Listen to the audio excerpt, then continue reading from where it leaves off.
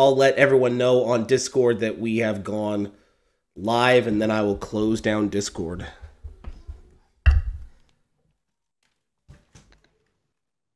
So, are you enjoying your new home?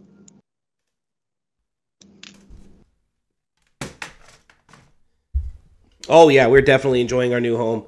Um, I know that, you know, I know that the news and everything about you know what's going on in America and American America falling apart, yada yada yada, is always really bad. But I don't think that people realize just how much better it is in America, even in this state. Like there's a reason mm-hmm. there's a reason why people are fleeing all across the United States to get here. It is just uh you know, there's, you know, hyperinflation and yada yada yada, but it's still just it's just so nice to be here. And um so uh there's just things that you just don't account for that you don't even remember until you get back here and you just realize, geez, um, people don't need to work that hard in the United States if they if they choose to to to make mm-hmm. enough to make enough money to to to survive.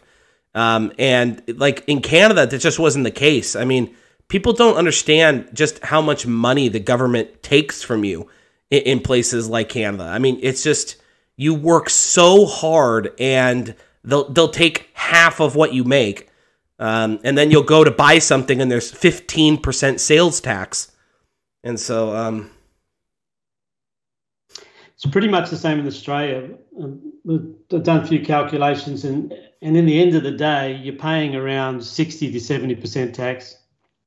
It's ridiculous. And people just out of the United States just don't know how much that just kills you. That kills your ambition it, it, it's just so hard to just get even. So mm. it's really easy here. I, I, mean, it just really is. I mean, um, in, in two years, we're already talking. Like, if people really wanted to, they could retire. You know, in their forties. Uh, you know, if they didn't want to live like millionaires. But uh, mm-hmm. yeah, but yeah, we could we could be living Zion's law really easily in the United States. We just, you know, would this money you know not be better spent? You know that's uh that's just where we are. Yeah. Wow everyone came in and dabbed me first or as i say dap which is not correct but what does that mean? That's that little that's just that little emoji with the uh, the guy with his hands off to the side. It's, oh i see it's it's this it's just this little you know gesture that means like victory or like success. And so okay. it's and it's no longer cool which is why i use it. Uh so it, it's it's kind of like one of those things where i can use it and people can okay boomer me. And so uh, yeah so i so that's why i like I'm, it. I'm so glad you explained what that meant because I thought every time I saw that, everyone was dancing. Like they were just like happy, like it was a dance move. so that's how off I am. yeah, so it's just your left arm is kind of up in the air, like, you know, your like your Babe Ruthing pointing off into the stands, and then your other arm, you, you look into your your elbow, and that's the that's the dab or the the dap as I call it because I'm uh, I can't say anything right, but um, I can't do. I, I if as simple a word as dab, I will screw it up for years and then can't correct myself. So, uh, yeah, I've never been. You know, people always compliment me and say, "Man, I wish I had your brain, Mike. I wish I could remember scriptures and and do this the way that you know you can do." And I say, "I wish I could just rem- you know remember words sometimes. Like I." Like I, the way I speak is so funny, but um, and I can't correct myself either. Like I can be sitting there and Ashley can, for for example, uh, uh, car in Carina, and Ashley when she came onto the fireside, Ashley and I practiced for a half an hour about uh, you know how to say her name properly. We get right into the fireside, and I'm like, oh yeah, Karina, or, or something wrong, and. Uh, it was like, oh my gosh, I practiced that for a half an hour. So yeah, I, language is never one of my st- my strong suits. So, um, I'm glad that there are people that somewhere out there that can understand at least something I'm saying. So, well, thank you every, everyone for joining. We got 33 people in here, so we're to start. This one is a really, really uh, uh, important one. It's a lectures on faith. Really important because we need to get these down. Uh, this is so uh, important for our time period is to develop this faith and so that we can do what's required of us in this generation. And and we can't do it unless we know what it is. And so let's figure it out and then let's do it. And so we're going to be going over uh, lecture six today but it's only going to be part one.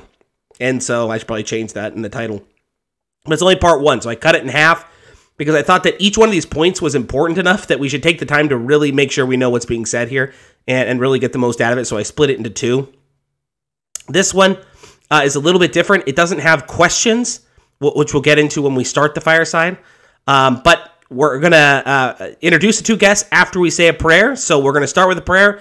Uh, we'll, we'll introduce the two guests, and then we'll, we'll talk a little bit about this lecture. Dear Heavenly Father, we are so grateful to be gathered as saints in Zion. And we're grateful as we come to learn more of Thee, and we're especially touched that we have this opportunity on a Sabbath day that we can meet with those and edify one another. And we ask Thee that Thou wilt help us, that we can not only learn what we're to learn, but have the courage to go forward and act on the things that we're inspired to do. And again, we're grateful, Father, for this medium to be able to meet together in the name of Jesus Christ. Amen. Amen. All right, so I will let Joseph introduce himself, and then we'll let Kelly introduce uh, Ryan and Kelly. Okay, hello everyone. Uh, Joseph from Perth, Australia. Uh, probably about an hour and a hour's drive from the two brothers. Um, and uh, I came across, well, the Lord led me to Micah and Blake and then the whole group of you guys probably in February of this year. And it's just been a wonderful journey of um, revelation, confirmation, and coming home. Um, for me, um, as we've seen in Discord, the redemption of Zion is just where we're at. And uh, Zion is people of one heart and one mind.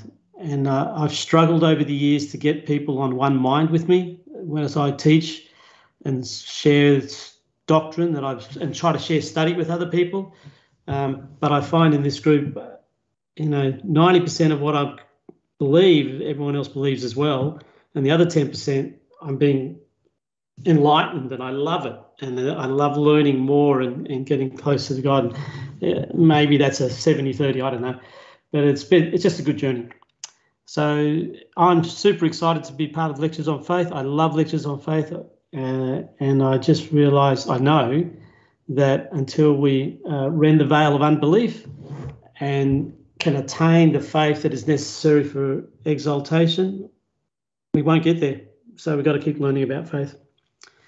Um, and my lovely wife Candice, we do we have a YouTube channel. My wife Candice is on there. She's I've been very blessed that she and I together are on this journey uh, to Zion. That's me. Okay, I will go ahead and go next. So this is Kelly and uh, my husband Ryan and I. Uh, we really enjoy um, just writing papers and interacting with people. And it's been quite a while um, since we've been involved in a fireside. So we're just um, excited. We live uh, in the Midwest in the United States. We have four kids. And um, yeah, we just love the gospel. We enjoy studying and learning more. And uh, this lecture brought a lot of things um, with clarity to us. So, yeah, we're excited to be here. All right. So as always, the the paper, what we're going to be going over today, can be found for free. Um, so all the references that we have there, sometimes we we we, we kind of go over them a little quick. Sometimes we don't actually read the references, but we always provide them in the paper. And so you can get the paper on Discord or you can get the paper on my family website or blog, whatever you want to call it. It's found in the link in the description below. You'll also find a link to um, uh, Joseph's YouTube channel in the link as well. And so hopefully all that works. We're going to be going over lecture six today and part one. And uh, as normal, um, uh, with the, the way these lectures go, um, there's a, lecture and then there's a bunch of questions and then they actually answer the questions. Um, and so we've been going through it with the question first, then we read from the lecture what it actually says, uh, and then we go into the answer. And so it's it, that's how we've been breaking it down. Um, this one at the beginning of this lecture, it says, uh, "quote This lecture is so plain and the facts set forth so self-evident that it is deemed unnecessary to form a catechism upon it." The student is therefore instructed to commit the whole to memory. End quote. And so that that's just awesome. But that's uh, and so the expectation is this is this is apparently so self evident and so straightforward. They're not even going to provide a questioning and answering. Answering. They just want you to memorize this. This is just something that we need to know um, as far as faith is concerned. And so what we've done is there's actually I think twelve um, paragraphs in here, and so what I've done is I've broken the first six paragraphs off, and that's going what we're what we're going to be going over in part one, and then part two we'll go over the the, the next. So what we're going to do is we're going to take each of these paragraphs and separate them and read them one at a time. And so we're going to read the the um, paragraph, and then we're going to hand it over to Joseph, where Joseph is going to tell us, uh, you know, his thoughts and additions, and um, then we're going to hand it over to uh, Kelly and Ryan, uh, read by Kelly and uh, and then we'll go to me. So, and what I'm um, doing is uh, putting on our screen here the actual quote, and so it should be popping up. Um, we debated putting a pumpkin on this just to set just to get people to set their hairs on hair on fire, but we decided uh, ultimately against it. But um, I kind of liked I kind of liked the pumpkin. I thought it was cute, but so um, or should be popping. There it is. Okay, so it's just popped up on the screen. So here's the actual uh, first paragraph, and so I will read it. And it says, quote, having treated in the preceding lectures of the ideas of the character perfect- perfections and attributes of God, we next proceed to treat of the knowledge which persons must have that the course of life which they pursue is according to the will of God, in order that they may be enabled to exercise faith in him unto life and salvation, end quote. Okay, so um, as I, I read through the whole uh, lecture, and uh, I tried not to go into the second half of the lecture because it's all tied together. Um, but then as I, I, went through each paragraph, there is actually so much you could pull out of even this first paragraph, lots of different areas. So I decided to focus on faith and knowledge. Um, is the the knowledge that we have that our course of life is according to the will of God is is very important. So I wanted to discuss knowledge. In my mind, uh, faith and knowledge are cyclic, and uh, unless you have faith and knowledge together, um, you're not going to progress and you're not going to go. So knowledge without faith is dead, and faith without knowledge is dead. Um, goes through. So let's just hit at a couple of quotes from Joseph Smith, Teachings of the Prophet Joseph Smith, page 148. Faith comes by hearing the word of God through the testimony of the servants of God. That testimony is always attended by the spirit of prophecy and revelation. And that flows uh, beautifully into the next two quotes, page 217. A man is saved no faster than he gets knowledge. Hence, he, it needs revelation to assist us and give us knowledge of the things of God. So, my thought process there is um, faith comes by hearing the word of God, scripture, prophets, um, as we understand those. Uh, and we need revelation to, to uh, increase our faith. And uh, Joseph Smith also says that we, we need to get knowledge, and uh, knowledge comes by revelation. So if we want to increase in knowledge, we need to listen to the Word of God and receive the revelation. And um, uh, uh, just on that, it, it's interesting how we we uh, get sidetracked. And um, Micah shared a thing last uh, yesterday on Discord about, oh, I, I, understand this scripture better now, and I had a similar experience. Um, and 124, Doctrine and Covenants, we just studied last week, where we read this, and it's basically paraphrasing. I haven't got the quote here, but paraphrasing, uh, the Lord said, "Okay, you don't have to build Jackson County, Missouri, at the moment, the temple there, because of wicked men. You, you're off the hook. You don't have to do that anymore." And I've always thought, yeah, that's the mobs. That's the mobs. But what was revealed to me yesterday, as I've been striving to plead with the Lord to reveal new things to me and help me to understand the scriptures as they really are, he just says wicked men. He doesn't say who they are, he just says they're wicked. And wicked men are those who do not obey God. And when you look at the history of the church, the, the reason why the mobs got so excited and really got hassled is because of the apostates that left the church and stirred them up. And so now I'm understanding, well, those wicked men to the third and fourth generation were actually members of the church who went apostate and caused all sorts of problems. Yet in the past, I always thought it was one other thing. And so I'm learning to more and more not rely upon the, the, uh, the history that has been taught me. And then that's revelation that enlightens our minds and helps us to uh, become of one mind. So then, with this idea of having this knowledge uh, or how to gain knowledge, um, I had to go back to lectures on faith. The first lecture As we receive by faith all temporal blessings that we do receive, so in like manner uh, receive by faith all spiritual blessings that we do receive. But faith is not only the principle of action, but also power in all intelligent beings whether in heaven or on earth. And I pause there for a second. I recommend you go back to the fireside where uh, Blake and uh, Micah went over faith, action, and power. The explanation there was just powerful. I don't have time to go into, but um, anyway, continue on with the quote.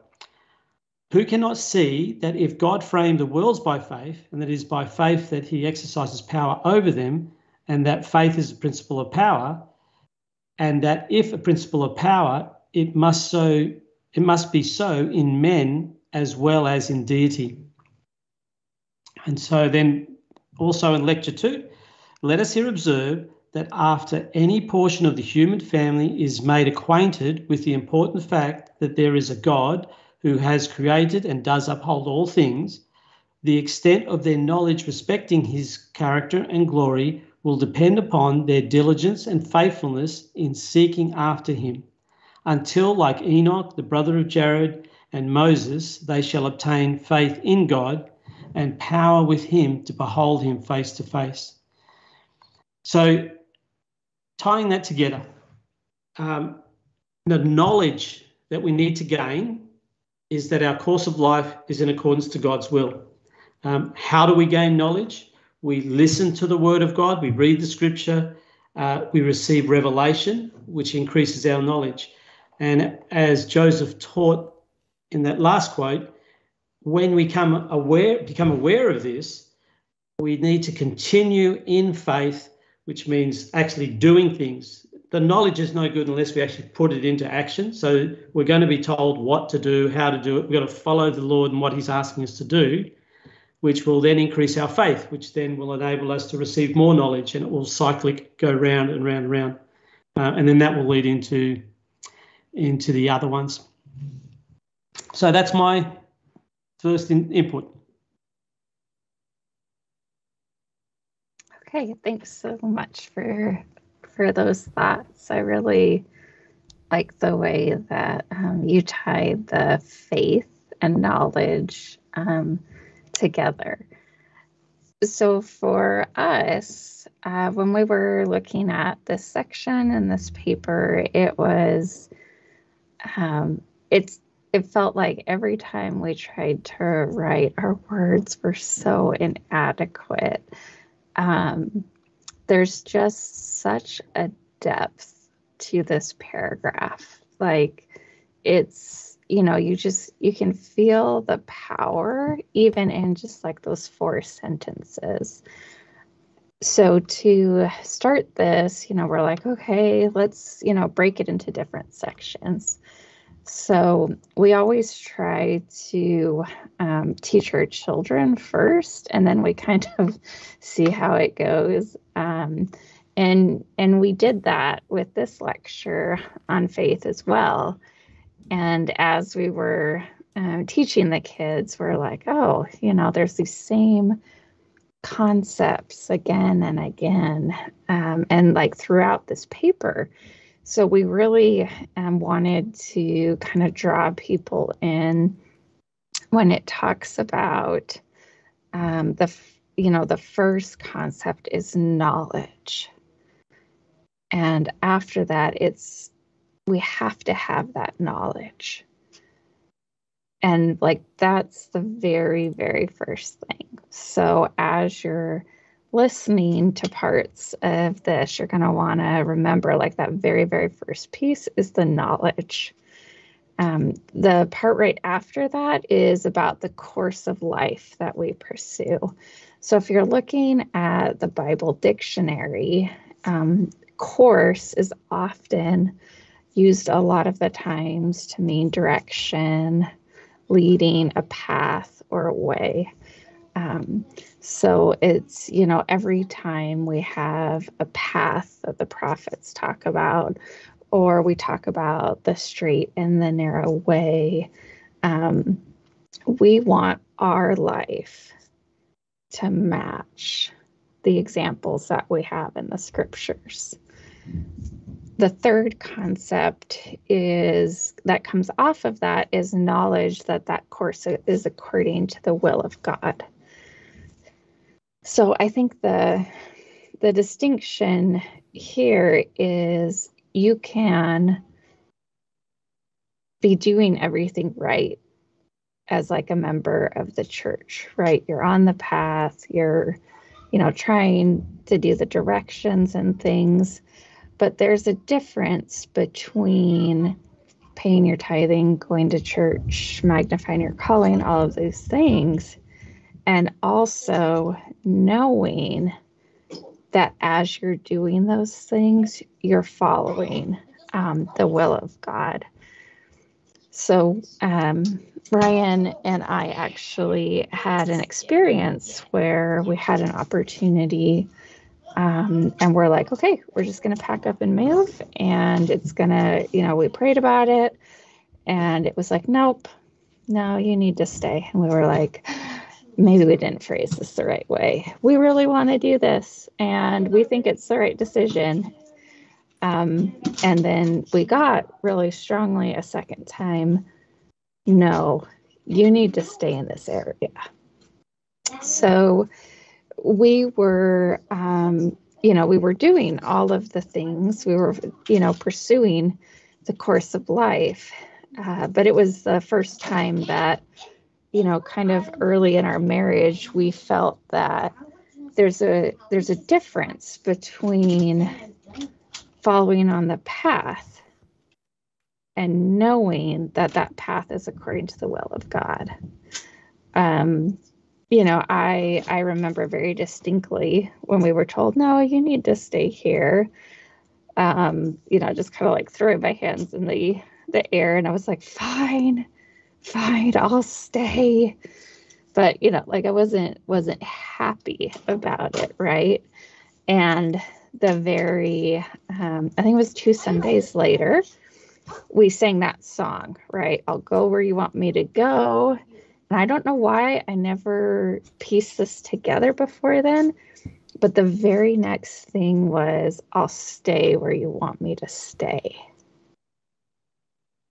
And I think for whatever reason, like we had always assumed that it was always moving, it was always doing something different. It was, you know, wherever we were going on that path, it was always a forward direction and I think it can really be a challenge sometimes for us to be told, stay where you need to stay. Um, and and so I I just call that example out to kind of show that that difference um, between a course of life and knowing that that course is according to the will of God. Um, so, as we continue on uh, in the paper, so the the end result of you know the knowledge, the course of life, knowing that our course is according to the will of God, we actually have faith. We're enabled to exercise faith. And there's a difference between being enabled to exercise faith and having faith. Um, so the very the very last um, piece of that then is because we're able to exercise that faith, we have life and salvation.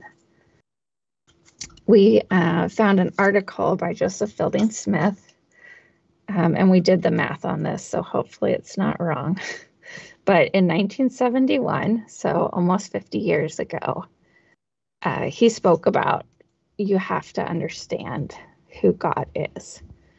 And he gave a warning 50 years ago that there are members of the church who do not have a true knowledge of our Heavenly Father.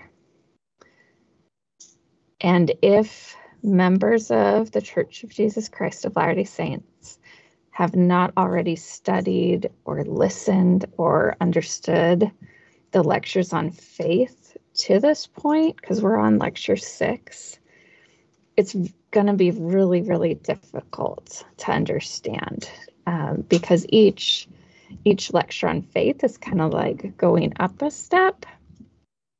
So, President uh, Joseph Fielding Smith said, "In every age, the Lord's prophets have been called upon to combat false worship and proclaim truth."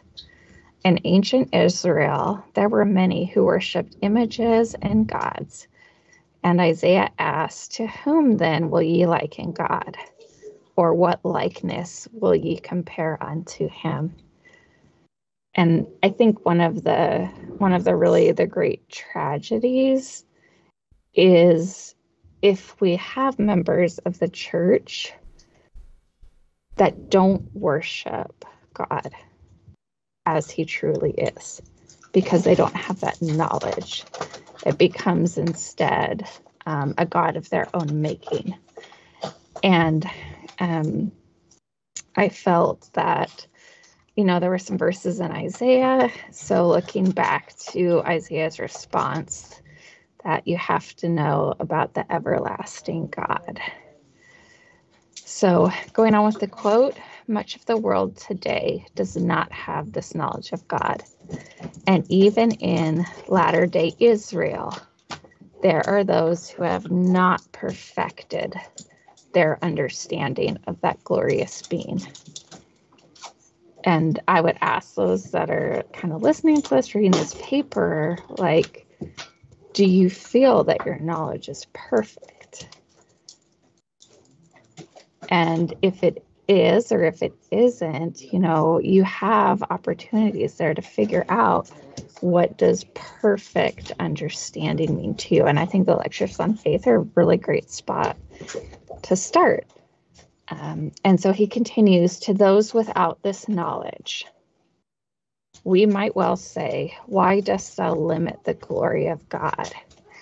Or why should ye suppose that the that he is less than he is? Hast thou not known? Hast thou not heard that the everlasting God, the Lord, the creator of the ends of the earth, is infinite and eternal, that he has all power, all might, and all dominion, and he knows all things and that all things are present before his face. So when I think about um, you know the the miraculous events that we know will shortly come to place, um, there are times that we need to say to others, "I know in whom I trust. I know that He has power to bring back the lost tribes of Israel. I know that he has power to build up a new Jerusalem. And it, it's almost like you're wanting to, you know, say, Hast thou not known? Hast thou not heard him? Um, and I just feel really strongly that we're doing. Sorry. Um, we have to know our Heavenly Father and know Him with that perfect understanding because that's how we will see these miracles in our life. And that's how we're able to stand and say, I am not ashamed of the Lord, and I will wait for him. And I'm done with that part. All right. Thank you both. Um, so it wouldn't be a, a, fireside with Micah talking if I didn't start off with a giant uh, scripture chain. And so here we go. So uh, this is what I'm going to be using, which I always try to do, a scripture chain that we're going to build upon as we go through what we're learning here. So we're going to start in Doctrine and Covenants 121, and we're going to start in verse 44 that he may know that thy faithfulness is stronger than the cords of death. Let thy bowels also be full of charity towards all men, and to the household of faith, and let virtue garnish thy thoughts unceasingly. Then shall thy confidence wax strong in the presence of God, and the doctrine of the priesthood shall distill upon thy soul as the dews from heaven. End quote. Okay, so we need to have this knowledge that our life is on the path that God wants us on, or we will not have the confidence to go to God and exercise faith in Him sufficient for life and salvation, let alone wax strong enough to be brought into His presence, as was the case with the brother of, of Jared and his faith. So, what builds that foundation, the foundation, the core, so that we can wax stronger and stronger in confidence? And what is the biggest obstacle to that? Okay, let's go to Proverbs 14, verses 26 and 27. In the fear of the Lord is strong confidence, and his children shall have a place of refuge. The fear of the Lord is a foundation of life to depart from the snares of death. Uh, uh, Philippians chapter 1, verse 14. And many of the brethren in the Lord, waxing confident, by my bonds are much more bold to speak the word without fear. Proverbs chapter 3, verses 25 and 26 Be not afraid of sudden fear, neither of the desolation of the wicked when it cometh. For the Lord shall be thy confidence and shall keep thy foot from being taken. Doctrine and Covenants chapter 3, uh, verses 6 uh, through 8. And behold, how oft you have transgressed the commandments and laws of God and have gone on in the persuasions of men. For behold, you have not, uh, for behold, you should not have feared man more than God. Although men set at naught the counsels of God and despise his words, yet you should have been faithful, and he would have extended his arm and supported you against all the fiery darts of the adversary and he would have been with you in every time of trouble. Uh, Doctrine and Covenants, chapter uh, 45, verses 28 and 29. And when the times of the Gentiles is come in, a light shall break forth among them that sit in darkness, and it shall be the fullness of my gospel. But they receive it not, for they perceive not the light, and they turn their hearts from me because of the precepts of men. Second Nephi chapter 28. Yea, Woe be unto him that hearkeneth unto the precepts of men, and denieth the power of God and the gift of the Holy Ghost. Cursed is he that putteth his trust in man, or maketh flesh his arm, or shall hearken unto the precepts of men. Second Nephi chapter 27, verse 25. For as much as his people draw near unto me with their mouth, and with their lips do honor me, but have removed their hearts far from me, and their fear towards me is taught by the precepts of men. End quote. So, what have we learned, or what should we have learned from these scriptures? We've learned that walking that path that we know the Lord wants us on is to work out our salvation with fear and trembling. Um, Philippians 2, chapter uh, chapter 2, verse 12, uh, Psalms chapter 2, verse 11, Ephesians uh, chapter 6, verse 5, etc. All uh, good places or good um, scriptures that you can turn to, to to further prove that. And the counter to that, the counter to the truth, is is that is to fear the Lord according to man's precepts, or as was uh, told to Joseph Smith Jr. above, quote, to fear man more than God, end quote. What does this fearing the Lord according to man's precepts, what does that look like? Well, Nephi tells us in 2 Nephi chapter 28 when he says, quote, And there shall be many which shall say, Eat, drink, and be merry. Nevertheless, fear God. He will justify in committing a little sin. Yea, lie a little, take advantage of one because of his words. Dig a pit for thy neighbor. There is no harm in this. And do all these things, for tomorrow we die. And if it so be we're guilty, God, God will beat us with a few stripes. And at last we shall be saved in the kingdom of God. End quote.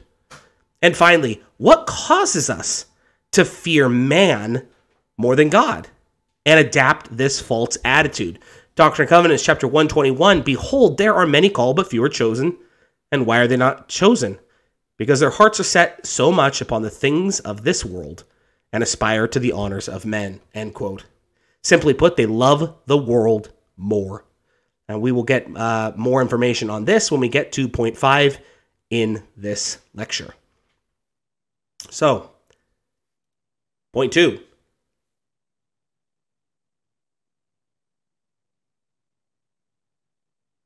Or uh, paragraph two should be coming up on our screen right now. Okay, it says, quote, this knowledge sup- uh, supplies an important place in revealed religion, for it was by reason of it that the ancients were enabled to endure as seeing him who is invisible, an actual knowledge to any person that the course of life which he pursues is in according to the in, is according to the will of God is essentially necessary to enable him to have that confidence in God, without which no person can obtain eternal life. It was this that enabled the ancient saints to endure all their afflictions and persecutions and to take joyfully the spoiling of their goods, knowing, not believing merely that they had a more enduring substance, end quote.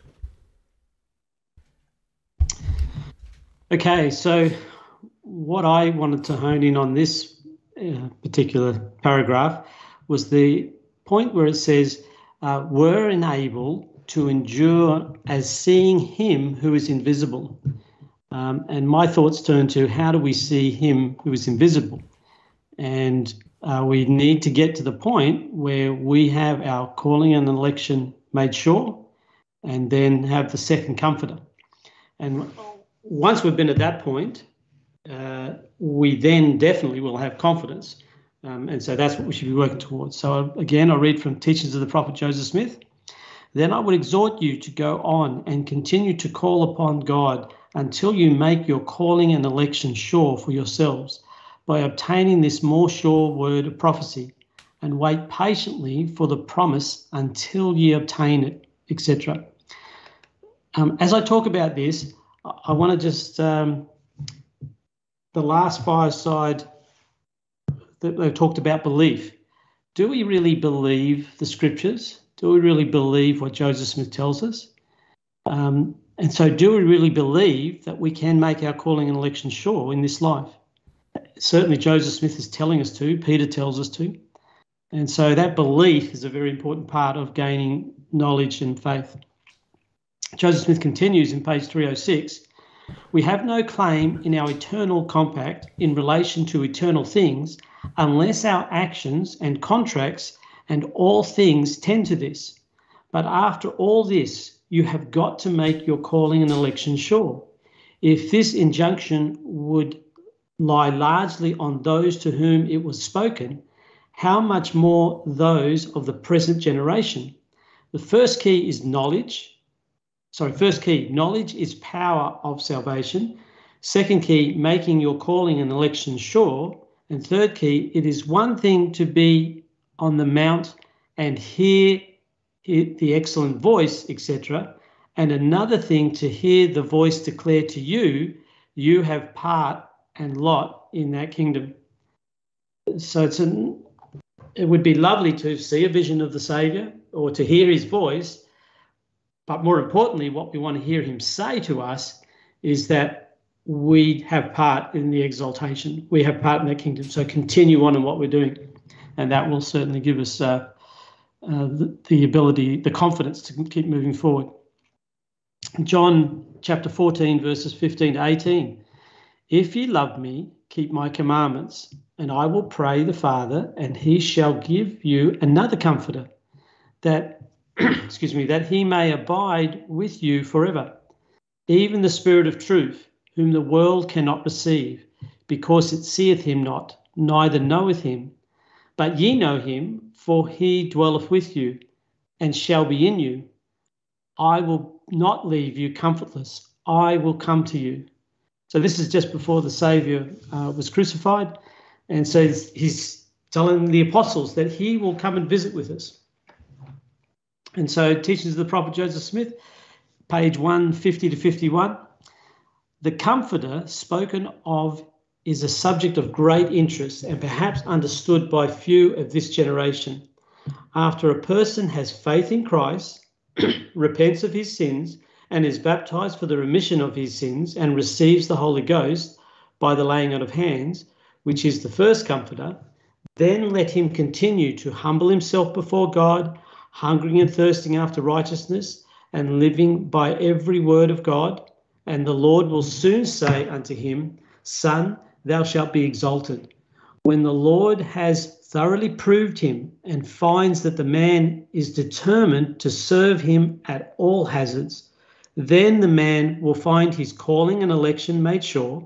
Then it will be his privilege to receive the other comforter, which the Lord hath promised the saints, as is recorded in the testimony of St. John, which I re- just read earlier on. So just pause on that comment for a second. This is mind blowing to me. Um, do I believe the scriptures? Do they say what they mean? Do they mean what they say? do I take them at their word? The Saviour is telling us that we can receive our calling election made sure and that the comforter. Now, if we don't believe that, it's not going to happen. We've got to believe it, not just talk about it. Um, and if we want to redeem Zion and be uh, part of that redemption process, we need to be at a point where we actually receive, can receive our calling election Make sure. The group that go to Zion, the Saviour is going to be in the midst with them. Um, the, these will be the pure and those that serve him in righteousness. So let's just continue on a bit more. Now, what is this other comforter? Is it no more? It is no more nor less than the Lord Jesus Christ himself.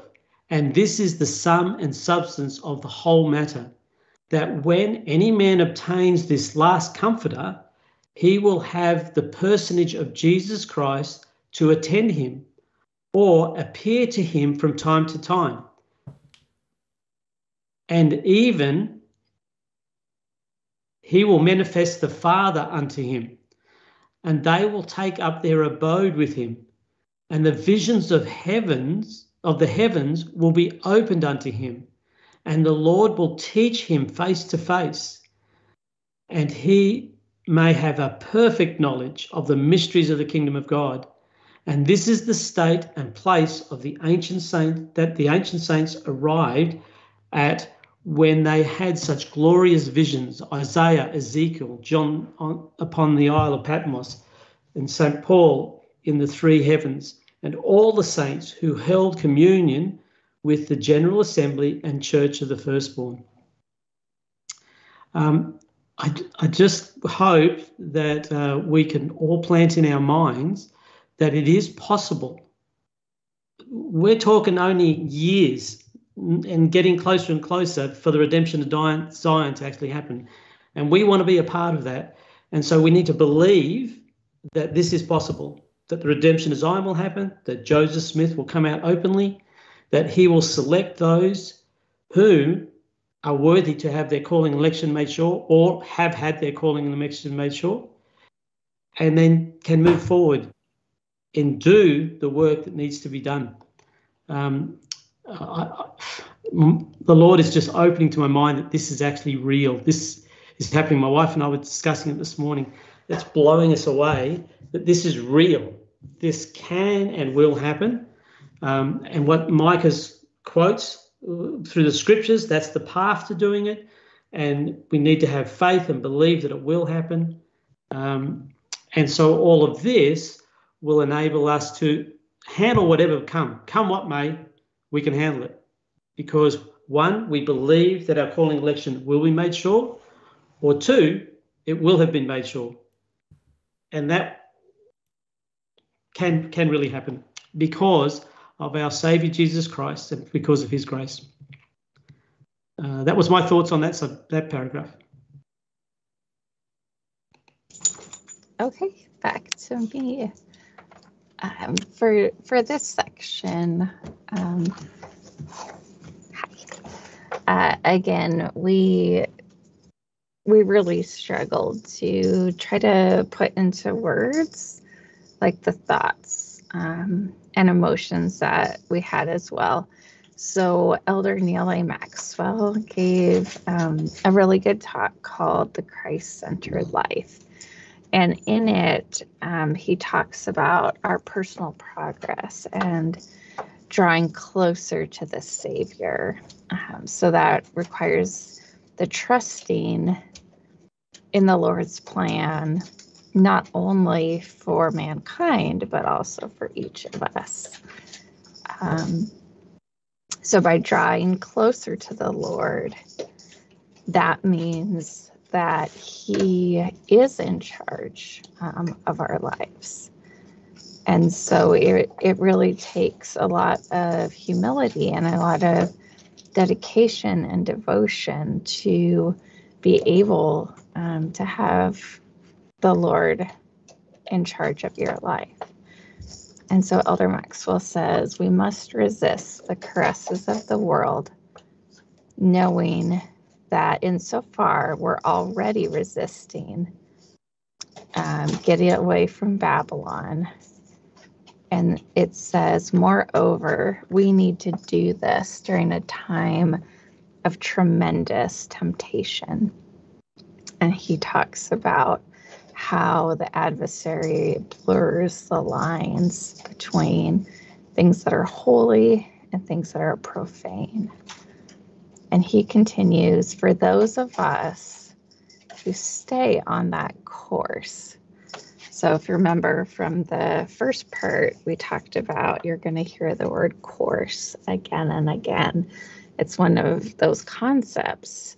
So, knowing that the course that we're on, we will be able to meet our ancestors and disciples in the past, that they will praise us for our achievements and our courage just as we have often praised them for meeting their individual challenges. And I I can't think of a better experience to have than with our ancestors, with turning our hearts um, back towards them and to meet them face to face and know that we have met this challenge, that we've really put the Lord in charge of our life. And the next part says, The Lord is preparing a very peculiar people. And this phrase really stood out to me. Um, we had a Halloween kind of like party thing, I guess, at church on Wednesday. Um, it wasn't on a Sunday. I want to be clear. so people don't write me emails to Micah. It was not during conference or a Sunday. Um, but there was, you know, like uh, this Halloween thing. And so in our in our ward, we have seven missionaries. And um, the missionaries would have you stand in a line and you could only get a piece of candy from like the questions that she answered, right? And um, so knowing my kids are extremely competitive. And so, of course, my son like never left. He just kept standing there answering questions and getting candy. And other people got really frustrated with him. Um, you know, and and so someone said, Well, how does he know all of this? Like, how does he know all this stuff that, you know, nobody else seems to know? And I was kind of a little taken back um, but this this thought came about being a peculiar people or particular, I guess. Uh, see, Micah's rubbing off on me. It's not peculiar, it's particular. So we're going to have to edit that. Okay. the Lord has a very particular people. Um, you know, I don't want to raise a son that knows more about sports or can answer those kinds of questions than they can about a gospel. I really feel strongly as a mother, my calling is to raise my children because they are particular people who were saved for very particular chores. And I think that's part of giving people something to really long for.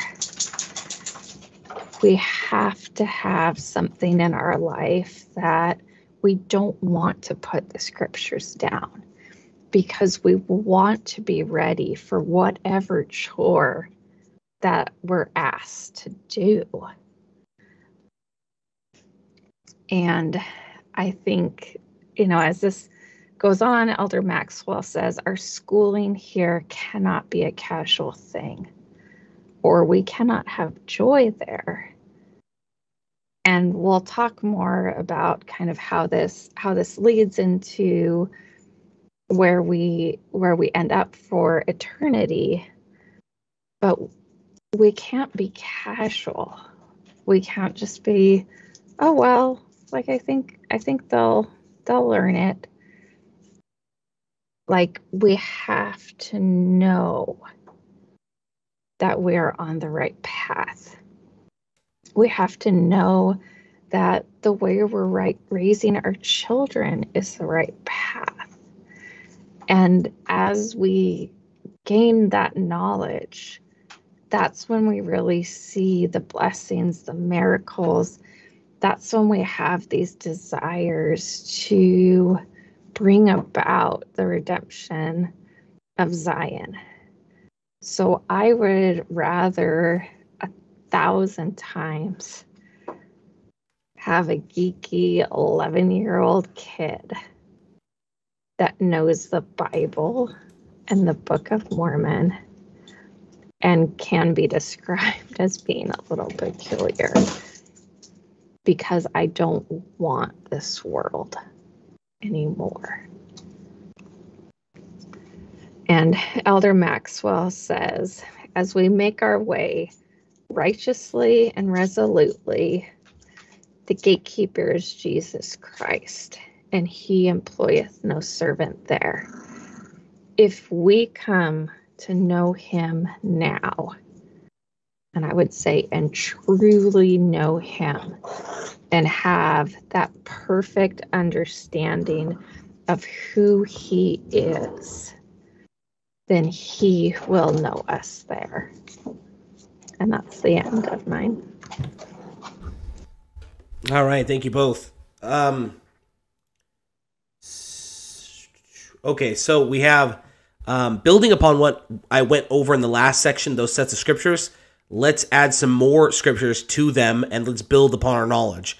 So let's go to First John chapter 3, and it reads Behold, what manner of love the Father hath bestowed upon us, that we should be called the sons of God. Therefore the world knoweth us not, because it knew him not. Beloved, now are we the sons of God, and it doth not yet appear what we shall be, but we know that when he shall appear, we shall be like him. For we shall see him as he is.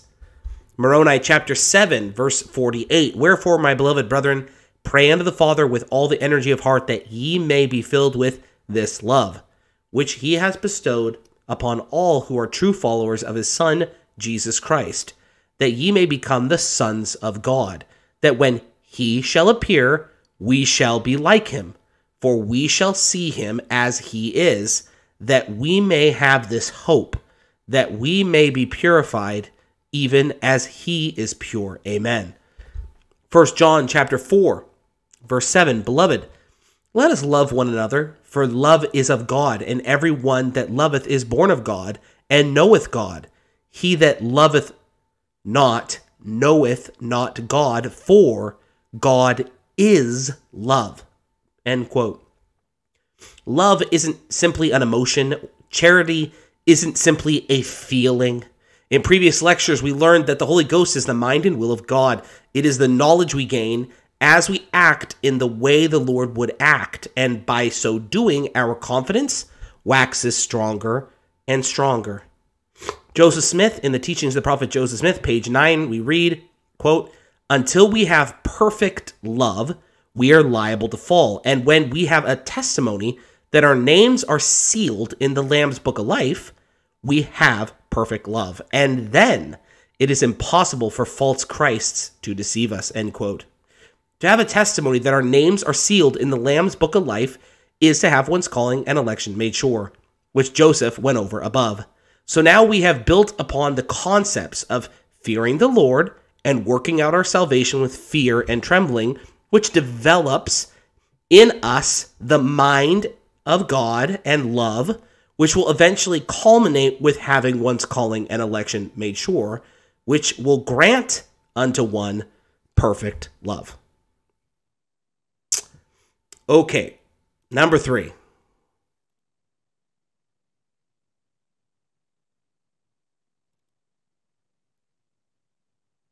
Should be coming up on our screen shortly. Quote, having the assurance that they were pursuing a course which was agreeable to the will of God, they were enabled to take not only the spoiling of their goods and the wasting of their substance joyfully, but also to suffer death in its most horrid forms, knowing, not merely believing, that when this earthly house of their tabernacle was dissolved, they had a building of God, a house not made with hands, eternal in the heavens. End quote. Okay, so out of this paragraph, I focused in on um, the assurance.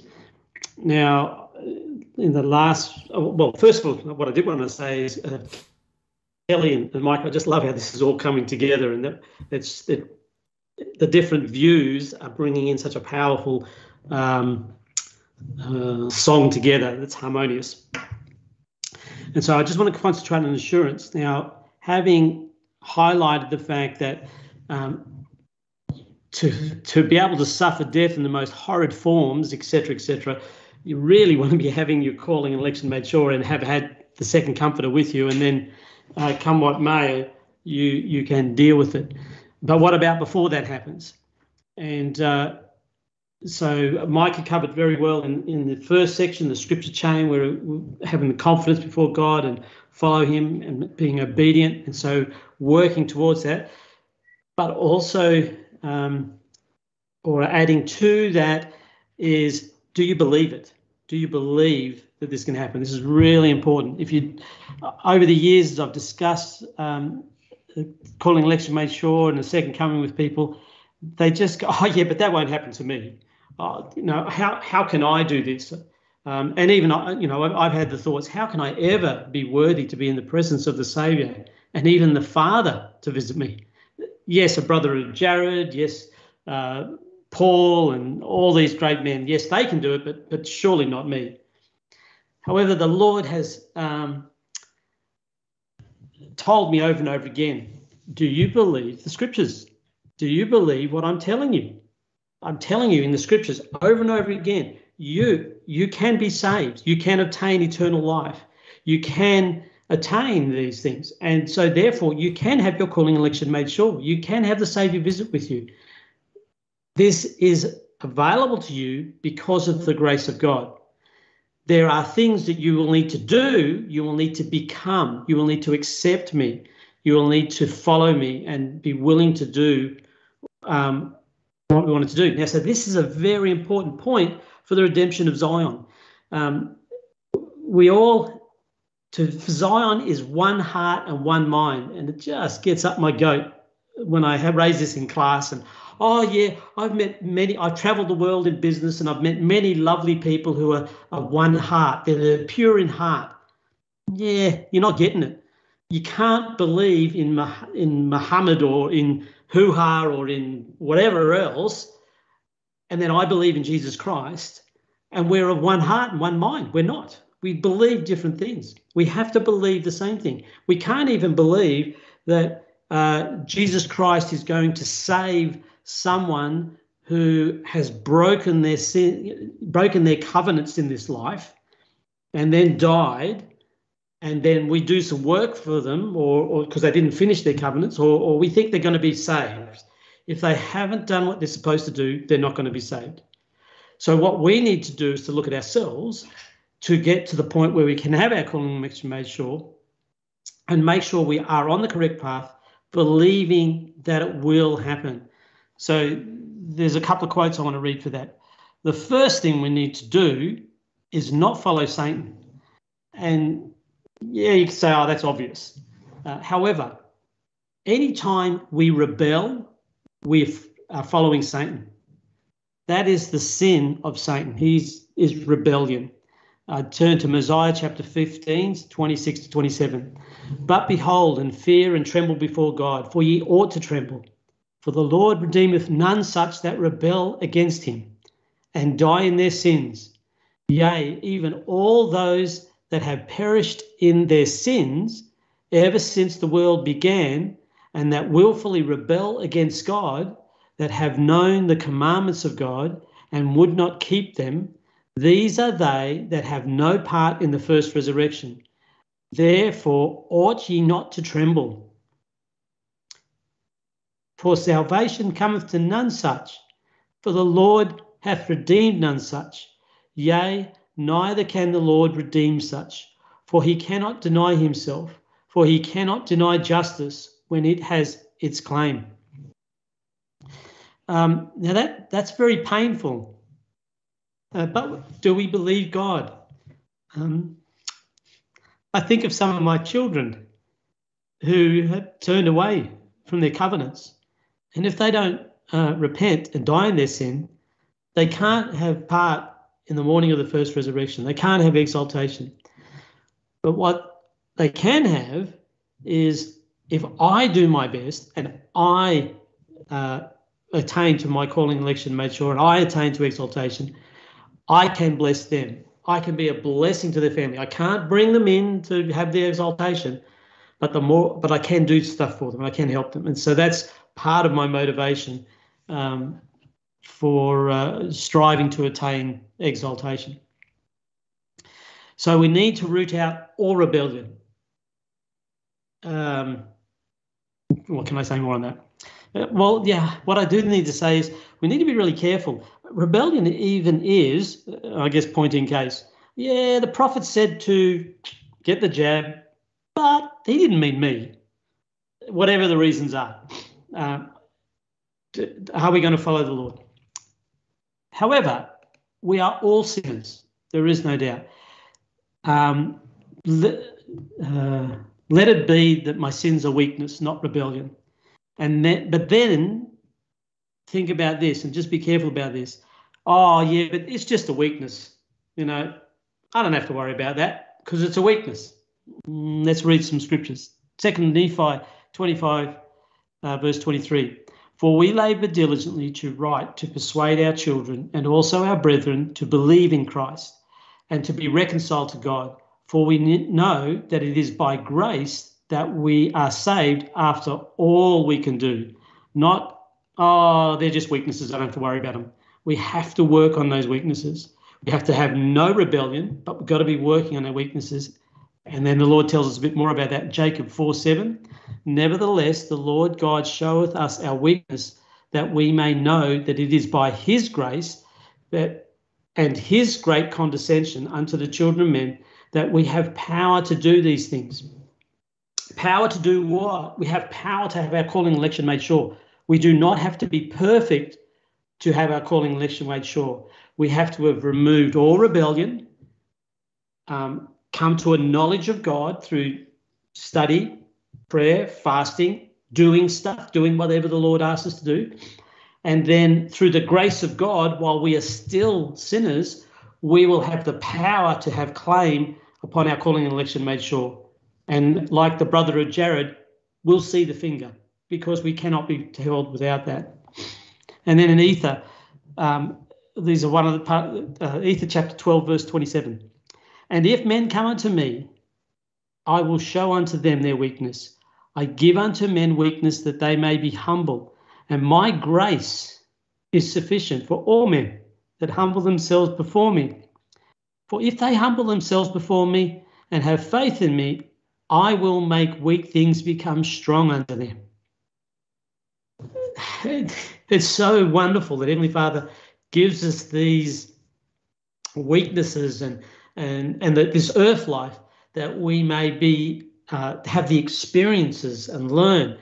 And if we are humble and come unto Christ, His grace is sufficient to take us and turn us so that our weaknesses will become our strengths and we will become celestial beings. It's an effortful thing to become a celestial being. We can't just uh, sit in the back row and just glide along.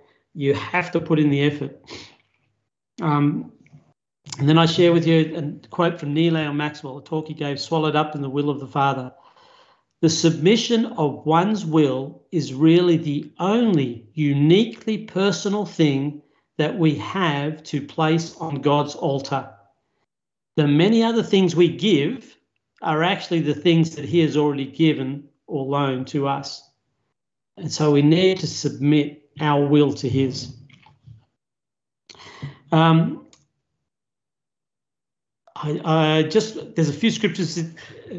Um, Second Nephi, Second Nephi chapter 31, uh, 2, and then 17 to 21, and then continuing on to 32, 1 to 3. So uh, they split these chapters up, but I really think these should all be together. And listen how it sounds when you read it all together.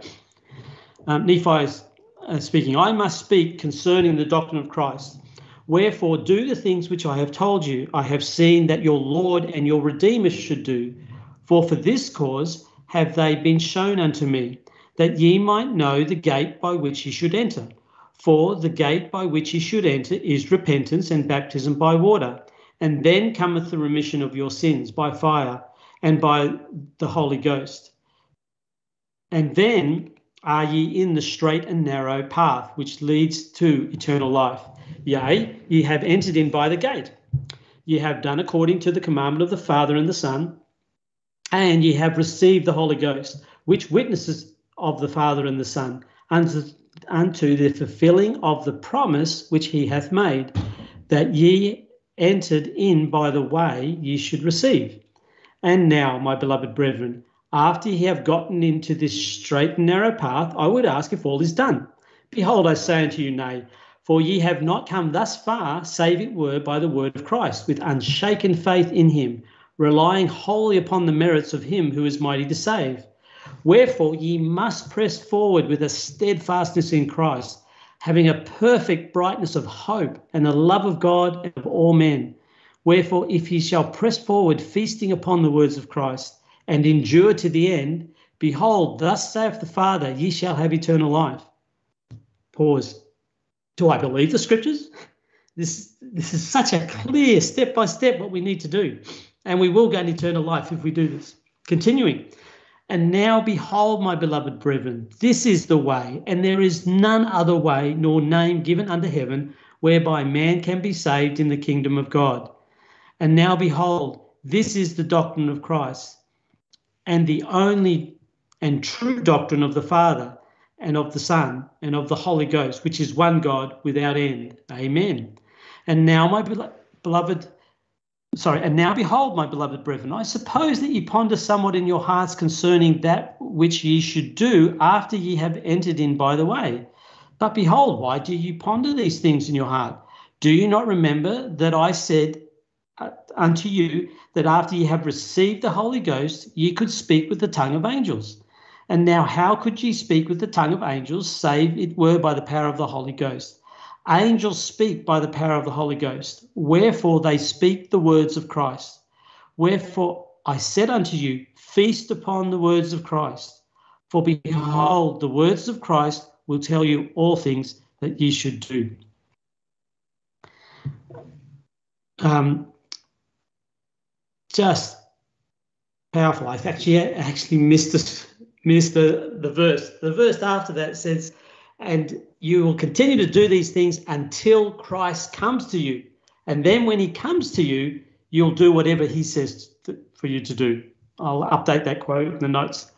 Um, and so what I realized here is that Nephi takes us through from baptism through to calling and election made sure and the second comforter.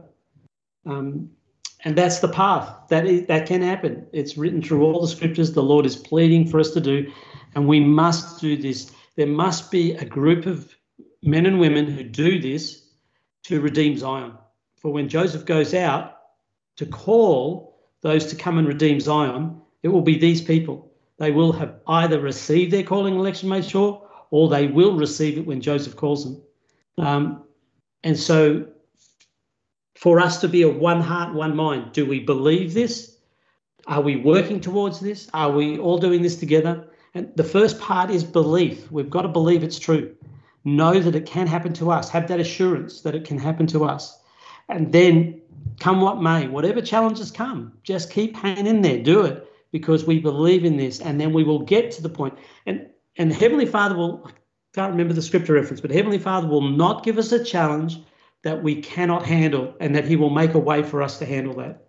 Um, and so the reason the challenges come and that we we have all these difficulties to go through is to help us to become celestial beings so that we can get to the point where we receive our calling election made sure we have the, the Holy Ghost. And the reason we have those things is so that we can continue on in the service of God in reaching out to others uh, and helping them to come unto God.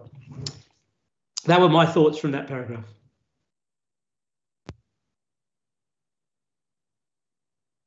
Okay, so I um, have some thoughts here as well, and I I agree that I I really enjoy the way everything kind of harmonizes and how even with unique viewpoints it kind of shows the the same path.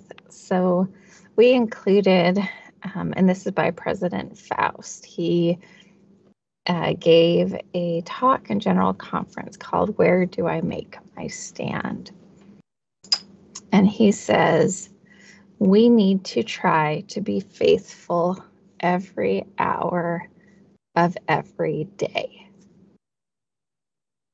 So I'm just going to like pause and, you know, let people kind of soak that in.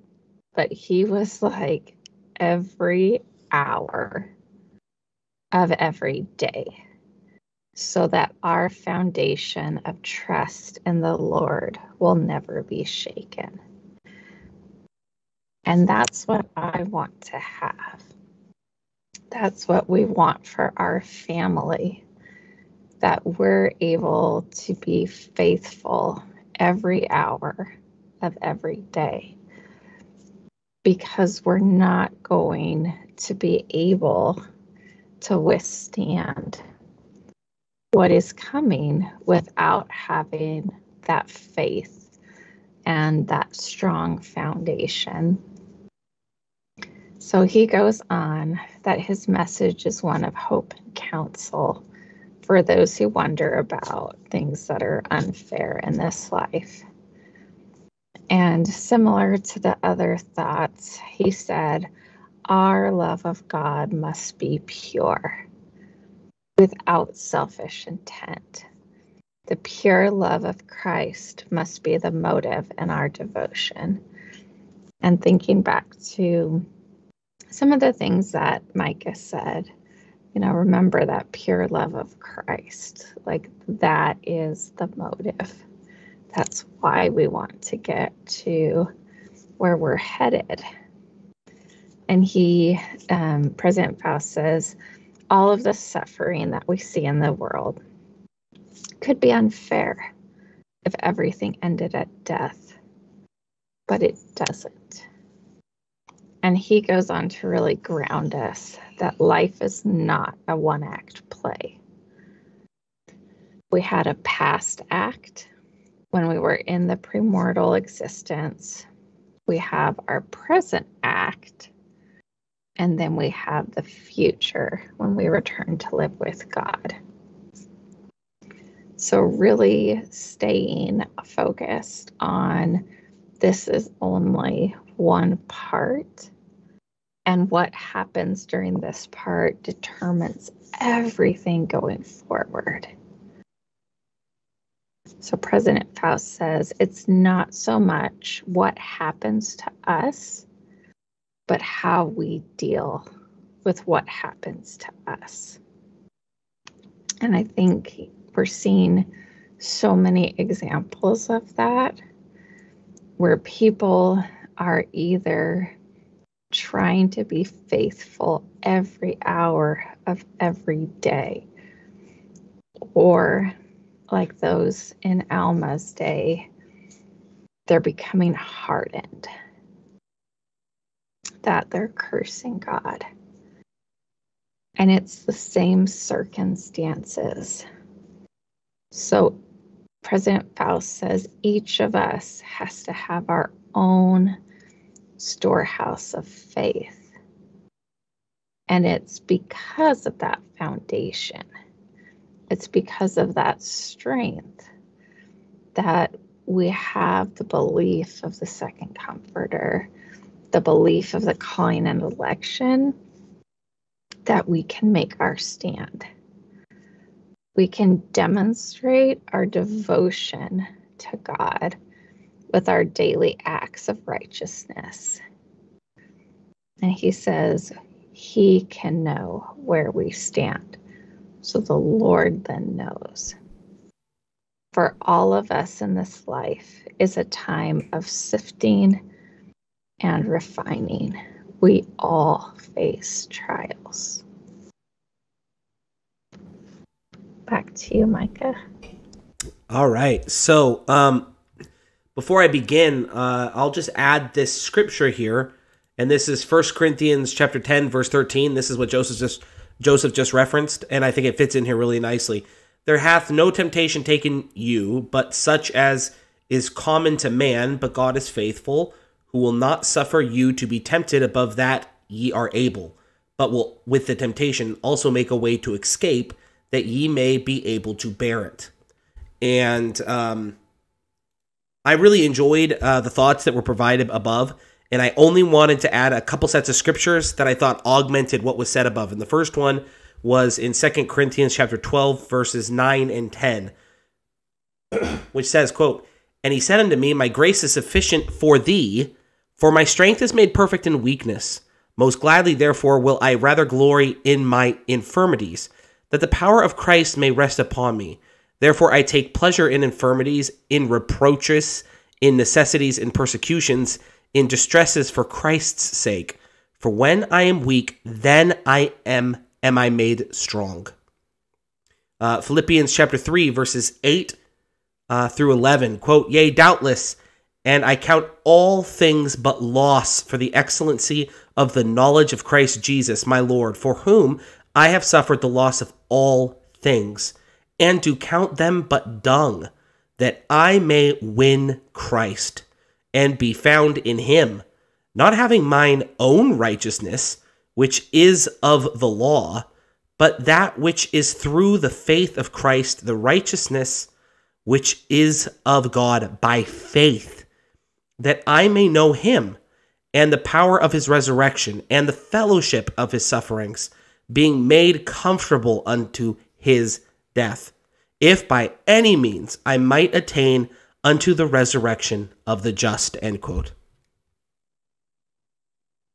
All right, so we'll go to point four. Or paragraph four. This one's a little bit longer. Should be coming on the screen shortly. And it says, quote, such was and always will be the situation of the saints of God that unless they have an actual knowledge that the course that they are pursuing is according to the will of God, they will grow weary in their minds and faint.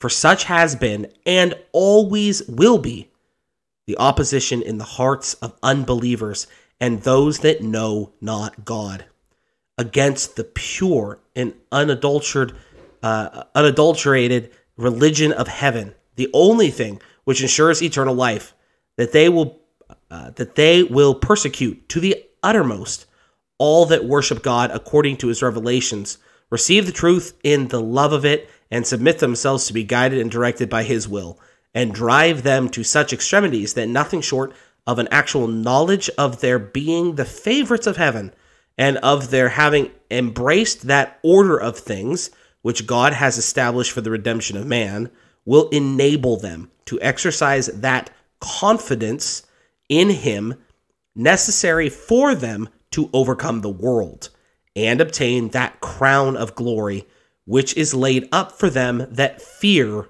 God. End quote. Okay, so um, so much in here. What I did want to just point out is um, with the plan of salvation, it's actually a very successful plan when you consider that celestial, terrestrial, and telestial beings are all saved. Those who are sons of perdition and who followed Satan are those who are not saved. And uh, Satan and his followers were one third part of heaven, not one, not 33.3% of heaven. So we don't know exactly how number followed him, but it was a one third part of heaven that went with him. Um, so when you consider everyone's been saved, that what we're discussing tonight, though, is people who are striving to become in the celestial kingdom, but not only in the celestial kingdom, those who are striving to become in the top degree. There are three degrees in the celestial kingdom, and the, only those in the top degree are those who are exalted and become as God is. And so the lectures on faith are helping people to attain to that. And that's what we, we're about. And through each individual attaining to that, we can then help and assist others attain to that and also others attain to whichever whichever salvation they choose to to come to um, but to, to, the best that they can have. And so that that's that's a I think part of that love that, that Joseph Smith was talking about. We want to help everyone.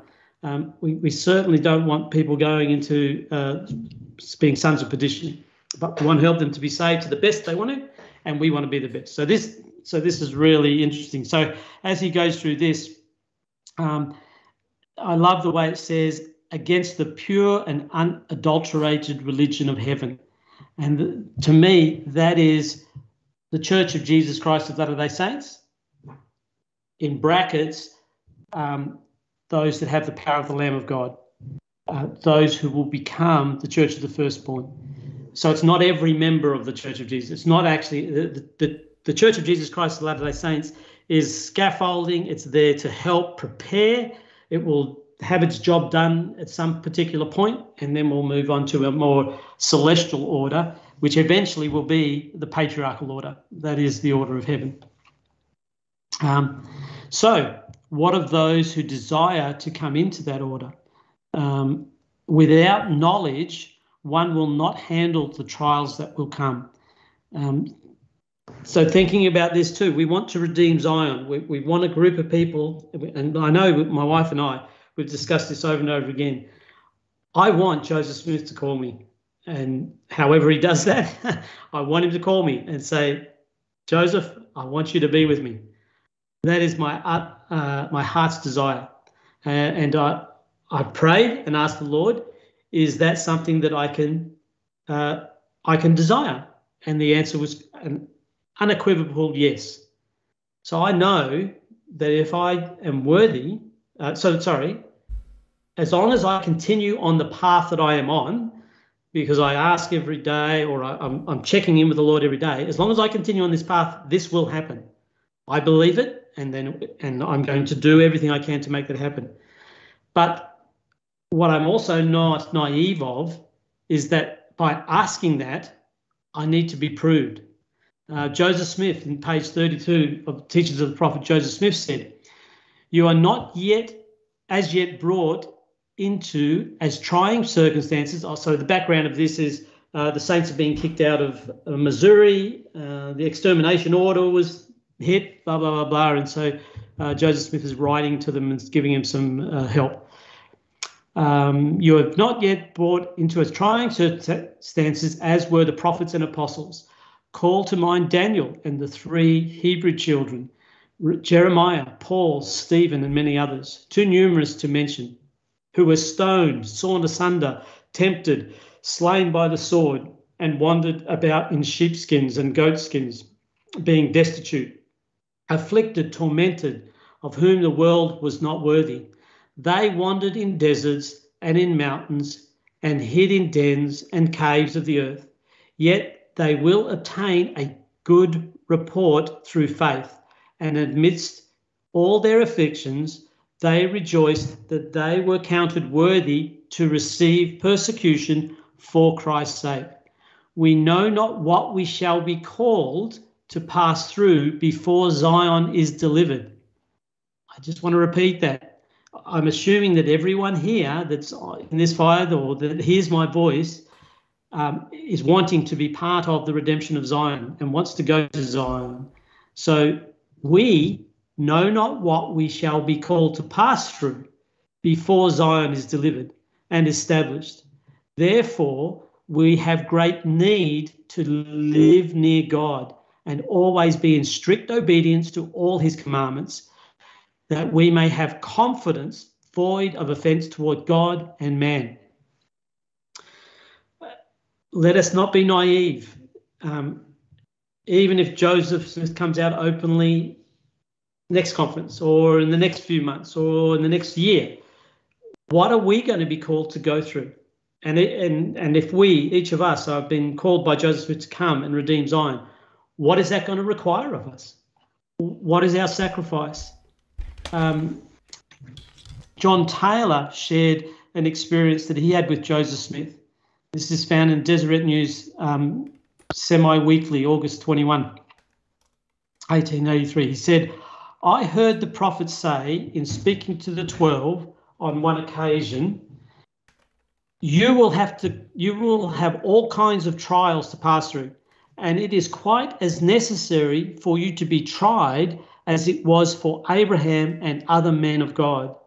And he and said he, God will feel after you, and he will take hold of you.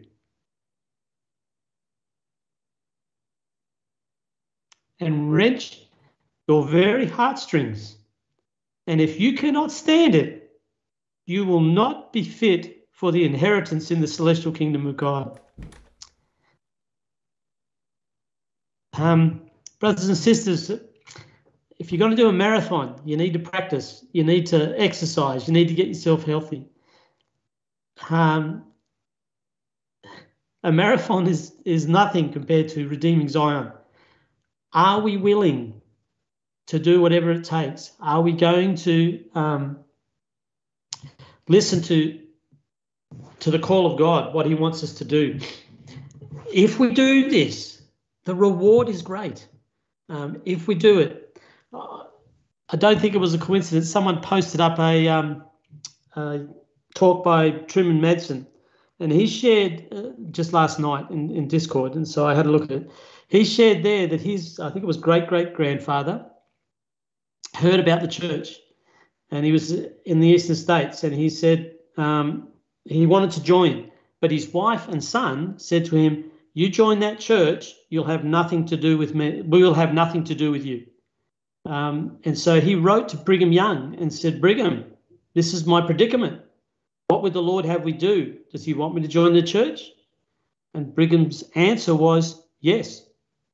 And uh, Truman Madsen's great great grandfather joined the church, and his wife and son were true to their word. They left him.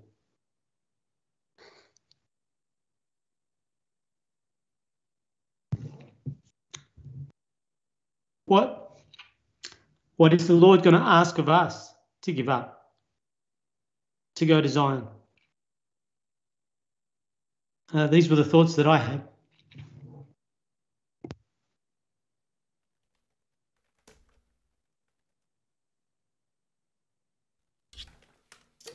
Sorry, I'm I'm here. I just had someone hit their head on the desk. Uh, can So- you hear me, boy? Can you get Yep. Um, Micah, would you mind going next and then I'll circle back? Yep. Thanks. Yep. Let me just pick up my mic. Okay, so now I have to scroll down. Okay, this is one of the most uh, the the section of part one that I, you know, this is Micah's opinion, right? I have to clearly say that this is just my opinion. That was the most important. This is one of those sections where if you just read over it quickly, you might not realize what is actually being said and we do this a lot in the scriptures when we don't realize the the, the opposite right we, we, we like to ex, you know accept one aspect of it but we don't uh, we don't understand that there's a reverse of that right so um you know uh, uh keeping the commandments you're blessed right well, well, wickedness never was happiness but we, we we don't like a lot of the times to say well that means that wickedness is misery and we don't like to do that and this is one of those cases where there is something in here that we really need to think about. We need to stop and read this until we actually uh, understand what's being said here.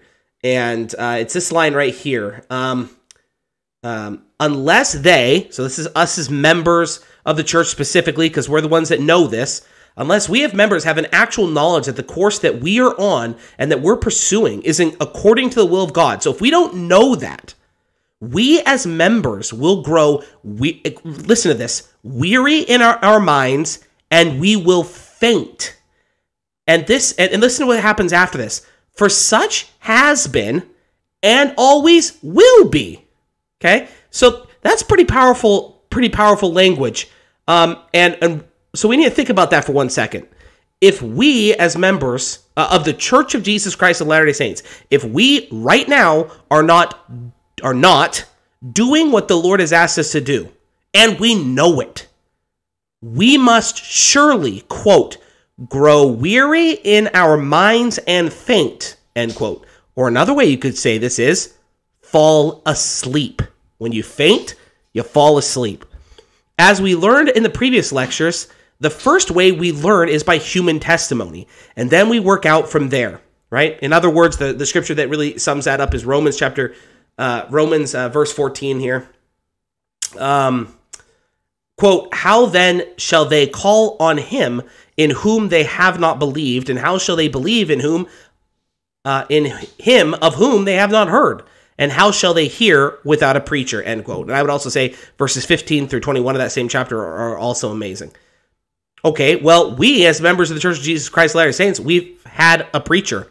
We've had teachers. The Lord told us. In Doctrine and Covenants, chapter 101, we read, quote, A certain nobleman had a spot of land very choice, and he said unto his servants, Go ye unto my vineyard, even upon this very choice piece of land, and plant twelve olive trees, and set watchmen round about them, and build a tower, that one may overlook the land round about to be a watchman upon the tower, that mine olive trees may not be broken down when the enemy shall come to spoil and take upon themselves the fruit of my vineyard. Meaning, it's going to happen. But what did we do?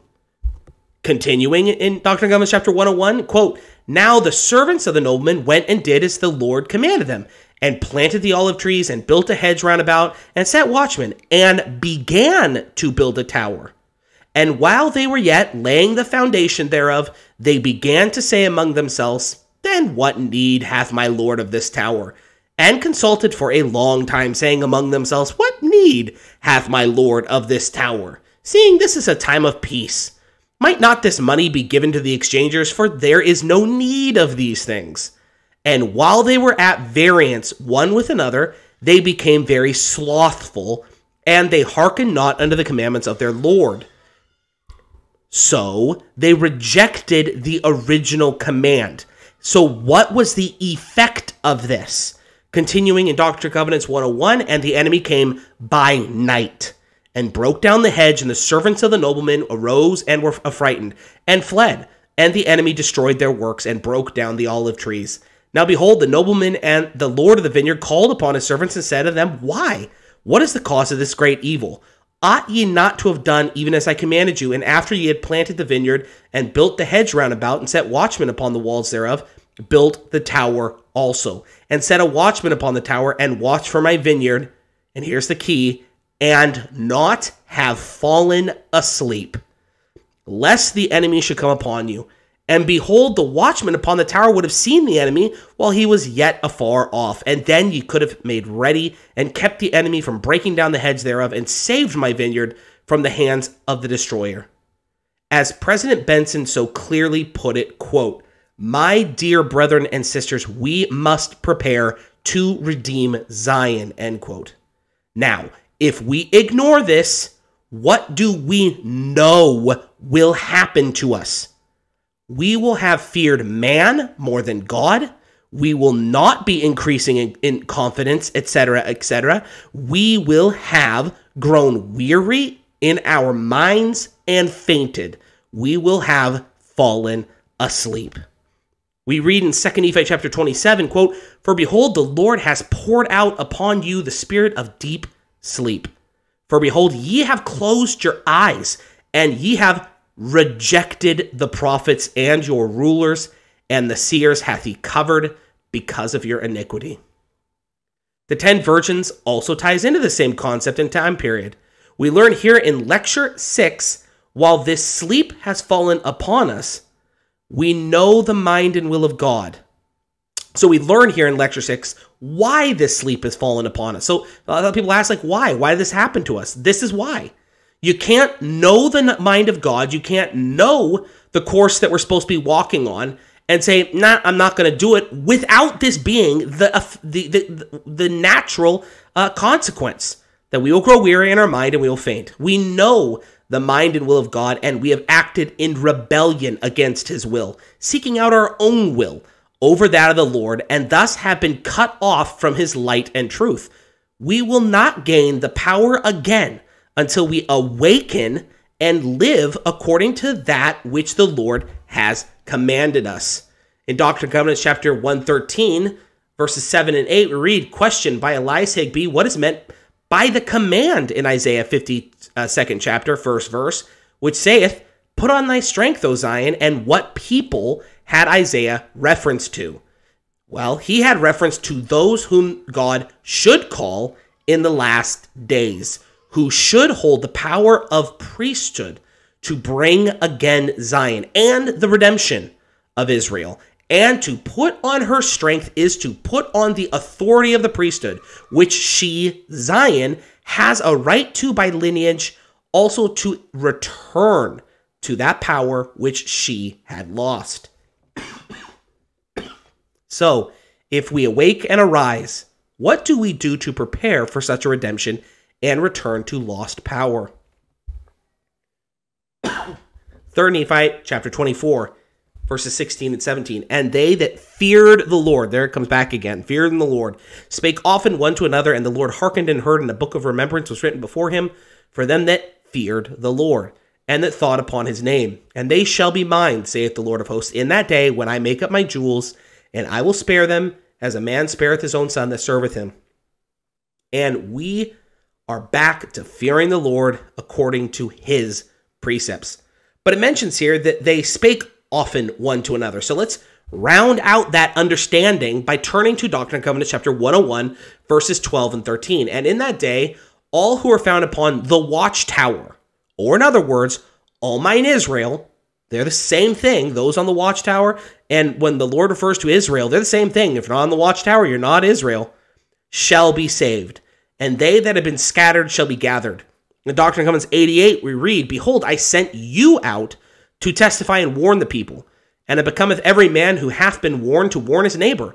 Therefore they are left without excuse, and their sins are upon their own heads. He that seeketh me early shall find me, and shall not be forsaken. Therefore, tarry ye and labor diligently, that you may be perfected in your ministry to go forth among the Gentiles for the last time.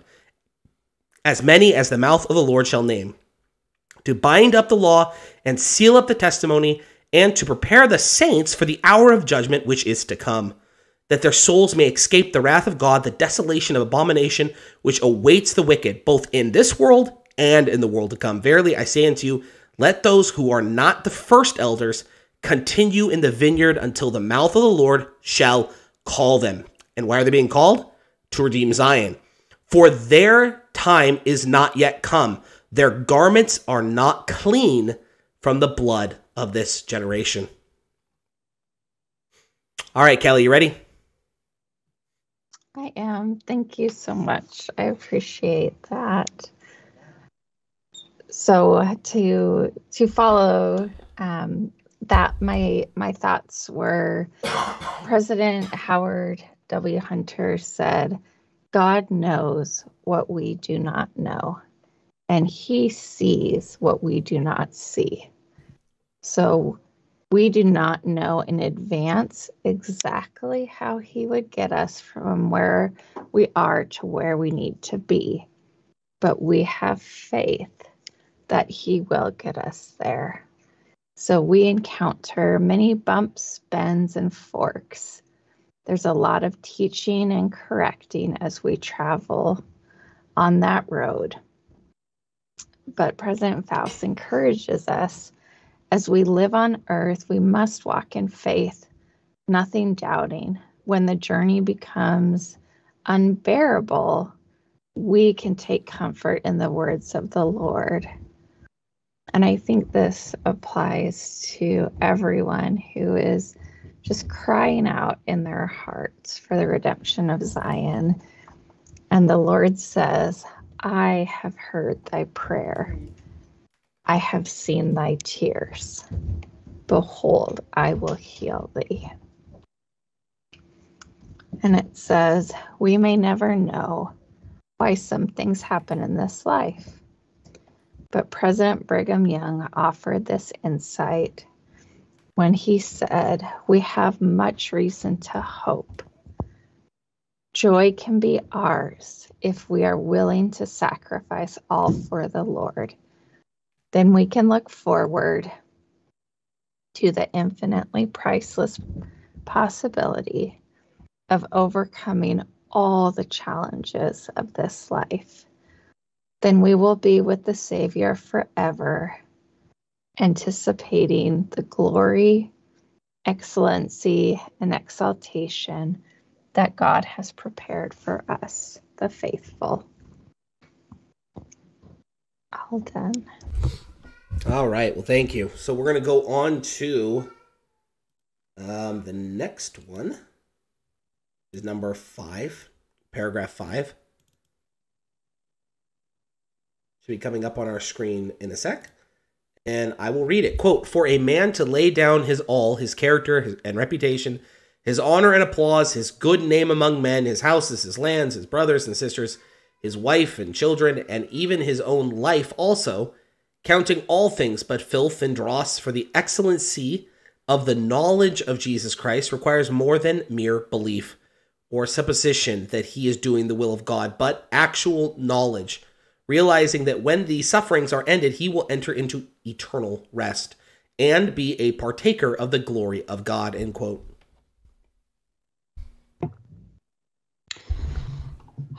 Okay. Um,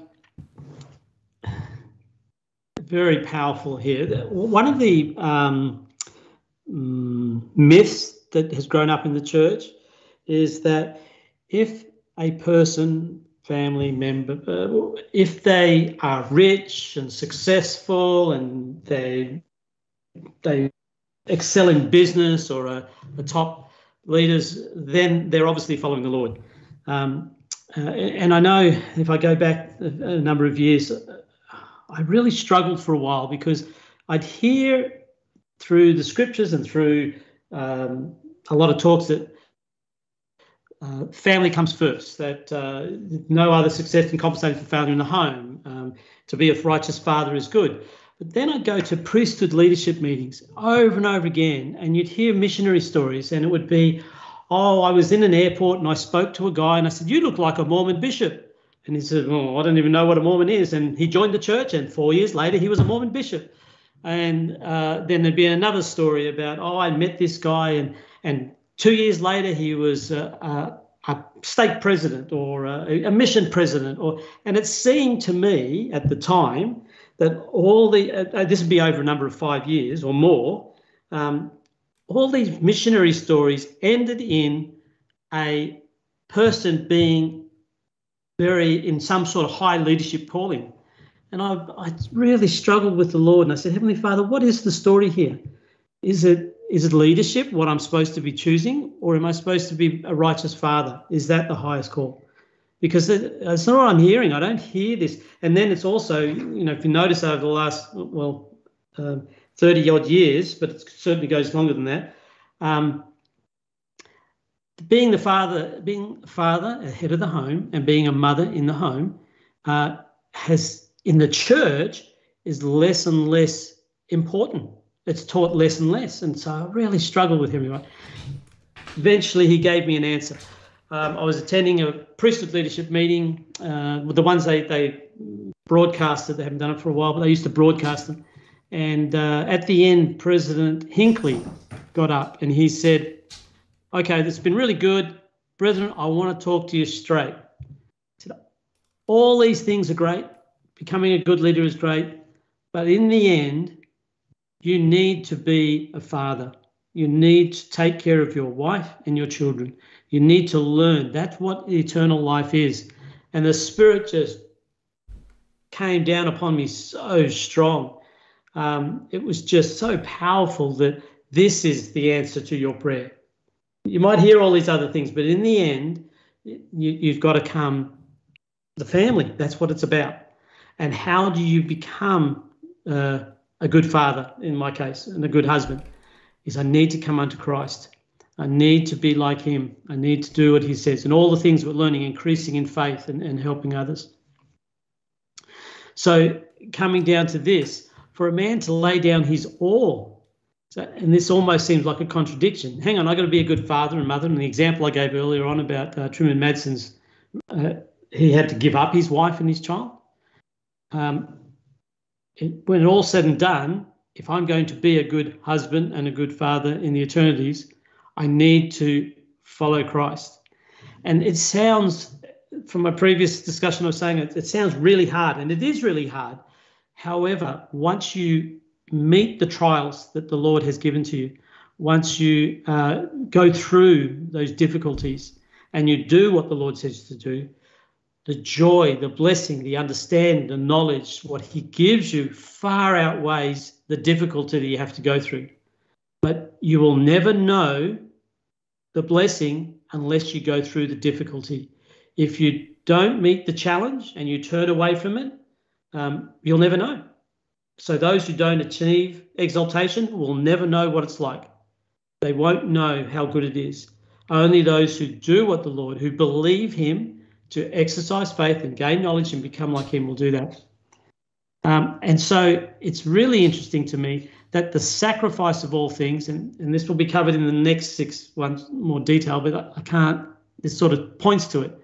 It's the sacrifice of all things that actually is required for us to be able to go through that to be to have enough faith to gain exaltation so to become an exalted being so it's not something that you you actually go and all right, well then I got to go and uh, achieve this. I got to do this. The Lord will send to you the trials that you need to have so that you can become a celestial being.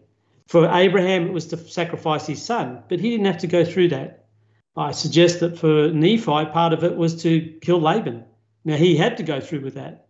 Um, and for each different person. But the Lord knows what's right for you, and you will get your own sacrifice. Teachings of the Prophet Joseph Smith, page 31. This one thing is sure that they who will live God, godly in Christ Jesus shall suffer persecutions, and before their robes are made white in the blood of the Lamb, it is to be expected, according to John the Revelator, that they will pass through great tribulations. And in page 42, we have all been children and are too much at present. We but we hope in the Lord that we may grow in grace and be prepared for all which in the bosom of futurity may time is rapidly rolling on. The prophecies must be fulfilled. The days of tribulation are fast approaching, and the time to test the fidelity of the saints has come. Rumor and her 10,000 tongues is diffusing her uncertain sound in almost every ear. But in these times of sore trial, let the saints be patient and see the salvation of God. Those who cannot endure persecution and stand in the day of affliction cannot stand in the day when the Son of God shall burst the veil and appear in all the glory of his Father with all the holy angels. Um, it's worth it, but we've got to endure. And what lectures on faith are teaching us is that if we have a knowledge that the course of life in which we are pursuing is according to God's will, then we will be able to bear the trials that come. And it's through the bearing the trials that come that sanctifies us, that purifies us, um, that enables the Saviour through his atonement to sanctify our bodies that they may become celestial bodies. And there's a whole process here at the moment of understanding that um, in the, in the pre-earth life we progressed as far as we were going to progress or willing to progress and then we were given the opportunity to come to earth. The major reason for us there's there's several reasons but one of the major reasons for us being here upon the earth is to for us as an individual joseph Cicluna, uh, my intelligence my spirit for me to train my body to be a celestial body. I need to have my spirit needs to have control over my body. And this is why um, um, uh, addictions and all that are so damning because you're allowing your body to control your spirit. If your body's controlling your spirit then depending on the level that it has will determine whether you're a telestial terrestrial or celestial being. So for an exalted being we need to have control over our bodies. And so the, the, the experiences that we have in this life, and this is why sacrifice of all things is so important, it's that experience in the body that enables us to have the faith and the ability to become a celestial being so that in the resurrection, our spirit is able to bring our bodies back out of the grave through the resurrection of Christ and his power, but our spirits will then be able to be a celestial body because it will change. Um, continuing on, teachings of the prophet Joseph Smith, page 251. The enemies of this people will never get weary of their persecution against the church until they are overcome. I expect that they will array everything against me that is in their power to control, and that we shall have a long and tremendous warfare. He that will war the true Christian warfare against the corruptions of these last days will have wicked men and angels of devils and all the infernal powers of darkness continually arrayed against him. When wicked and corrupt men oppose, it is a criterion to the judge if a man is warring the Christian war. When all men speak evil of you falsely, blessed are ye. Shall a man be considered bad when men speak evil of him? No. If a man stands and opposes the world of sin, he may expect to have all wicked and corrupt spirits array against, against arrayed against him. Um, so when you look around and you see other people and they lose their wealth, they lose their businesses, they have problems in their family, they be careful to not judge um, unrighteously. This could be the trials that the Heavenly Father is using to sanctify these people to become exalted beings. And so when everything falls apart in your life, uh, and and and the wicked use, uh, you know, they don't play fair. Satan doesn't play by the rules, um, and so he will uh, encourage his followers to not play by the rules, and they'll do whatever they can to bring you down. But know this: that God is more powerful than Satan. That the Savior will not leave us alone, and that through these experiences we can come unto Christ. We can receive our calling and election made sure. We can be prepared to redeem Zion. And we can have that uh, wonderful experience of being called by Joseph Smith um, to go forth and do this work. And even at that point, it's not going to be a, a we're not going to all jump in um, our Cadillac or what is it, Mercedes Benz, or, or have a cruise down to uh, um, Jackson County, Missouri. You know, we're still going to have to exercise faith. It's still going to be um, the the the the, um, the Assyrians not going to give up. They're going to keep going and going and going, and that's why the the, the, the Lord or Joseph wants a group of people who are who have been put through the wringer, who have been tested and are shown truthful, and and will stand up for all things then he knows he'll have a, a group who will go with him and not shy backwards from the work that needs to be done. These were the thoughts that I got from that paragraph.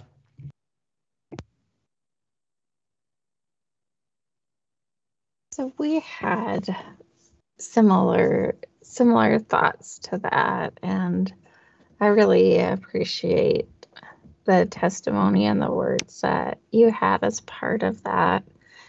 Um, we we took our response from a talk given by President Eyring, and he said, "In the depths of his anguish in Liberty Jail, the prophet Joseph Smith cried out, "O God, where art thou? And where is the pavilion that covereth thy hiding place?" And President Eyring said, The pavilion that seems to intercept divine aid does not cover God, but occasionally covers us. God is never hidden, yet sometimes we are covered by a pavilion of motivations that drive us away from God and make Him seem distant and inaccessible. Our own desires, rather than a feeling of Thy will be done, create the feeling of a pavilion blocking God. And I feel like this phrase is really important. He said, God is not unable to see us or communicate with us but we may be unwilling to listen or submit to His will and His time. Our feelings of separation from God will diminish as we become more childlike before Him. And He said, This is not easy.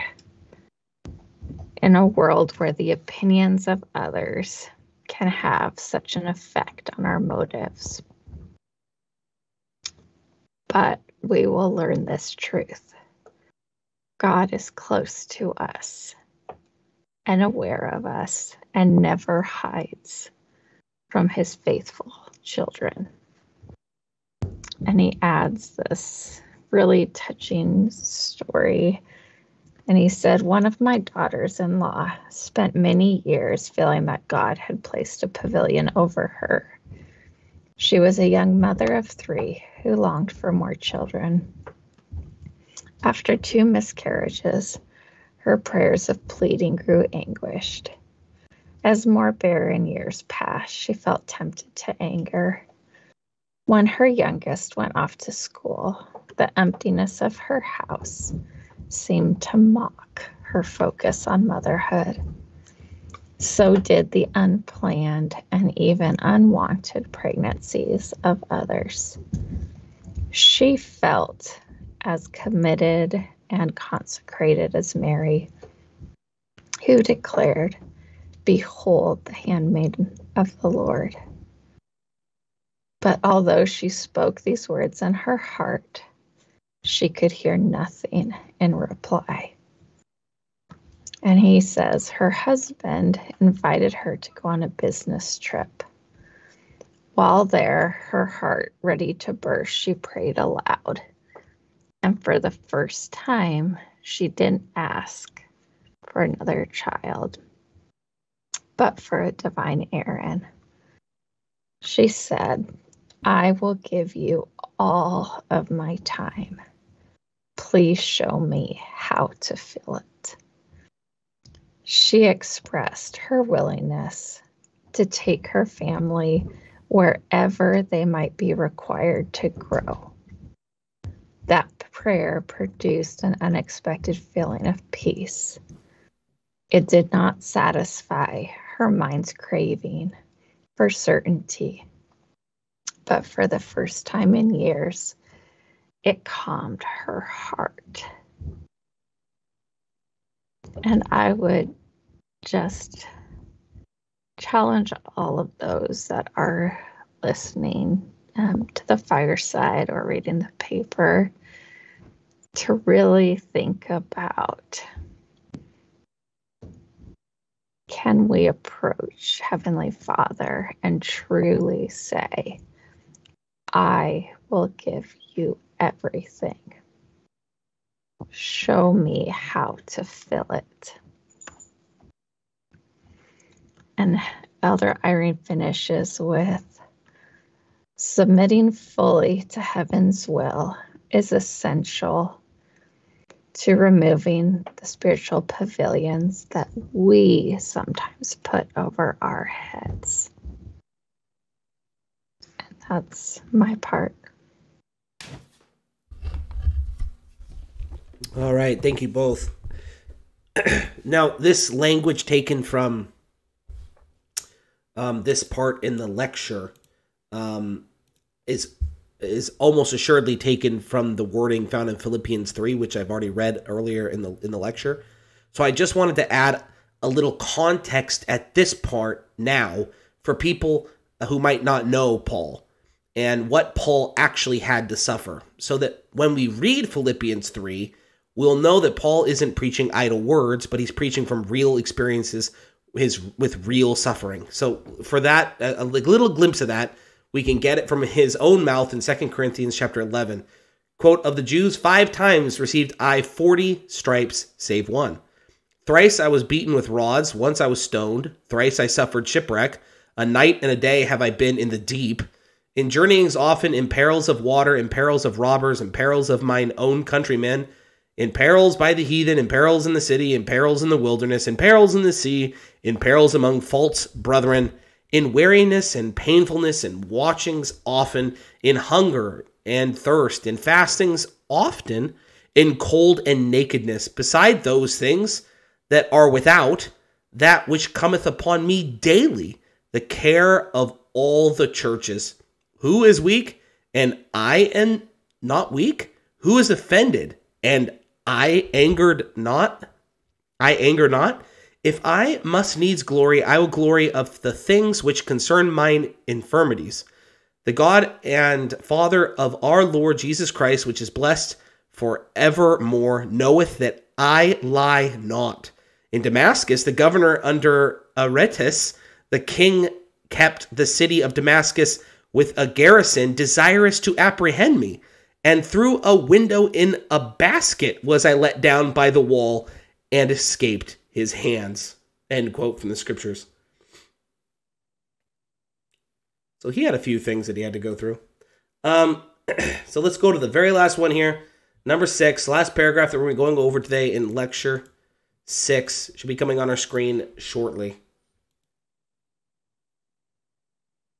And it reads, quote, For unless a person does uh, know that he is walking according to the will of God, it would be offering an insult to the dignity of the Creator were he to say that he would be a partaker of his glory when he should be done with the things of this life. But when he has this knowledge and most assuredly knows that he is doing the will of God, his confidence can be equally strong that he will be a partaker of the glory of God. End quote. This is so important. I'm glad you just read those uh, scriptures, Micah. I don't know um, if I can do it yet, but uh, my plan is that I'd like to sit at the table with Abraham, with uh, with Paul, but uh, I can't imagine um, going and sitting at the table with Paul in in, uh, in Zion or, or in the eternities. And uh, how did you go on earth? And then Paul lists off all these things. Oh yeah, well you know I lived in Australia and we had uh, yeah pretty easy life and we didn't have any wars and we didn't have this and that, but it was really tough. Yeah, I, I'm with you on that you know, it just doesn't work. just doesn't work, does it? Um, and so, even though we haven't had the wars, you know, I have been through a few more trials, and that's not come up to him yet. However, the Lord knows what we need to be able to feel confident that we can um, uh, sit at the table with these men and and women. Um, and so that, but that's the important thing here, I think, is is that all of the thing that we've gone over the in the in the, the fireside so far it's that submission to god it's that willingness to do whatever he asks us to do and having that knowledge and continually praying um, i feel to share so my wife and i in our prayer this morning um, we were asking uh, we've received some more light and knowledge on the path that we need to go and so we were asking uh, for specific direction on what we need to do. And as part of the answer, the answer was that day by day, hour by hour, minute by minute, and second by second, we need to ask the Lord what He wants us to do.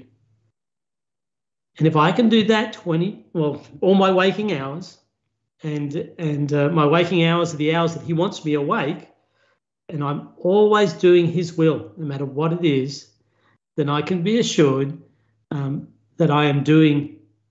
Uh, I can have I can have that knowledge and have that assurance and that confidence that what I'm doing, where I'm placing my time, my effort, my thoughts, my th- are according to His will. I have that prayer in my heart. I'm asking the Lord guidance by guidance.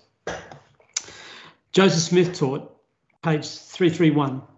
I have tried a number of years to get the minds of the saints prepared to receive the things of God, but we frequently see some of them, after suffering all they have for the work of God, will fly to pieces like glass as soon as anything comes that is contrary to their traditions.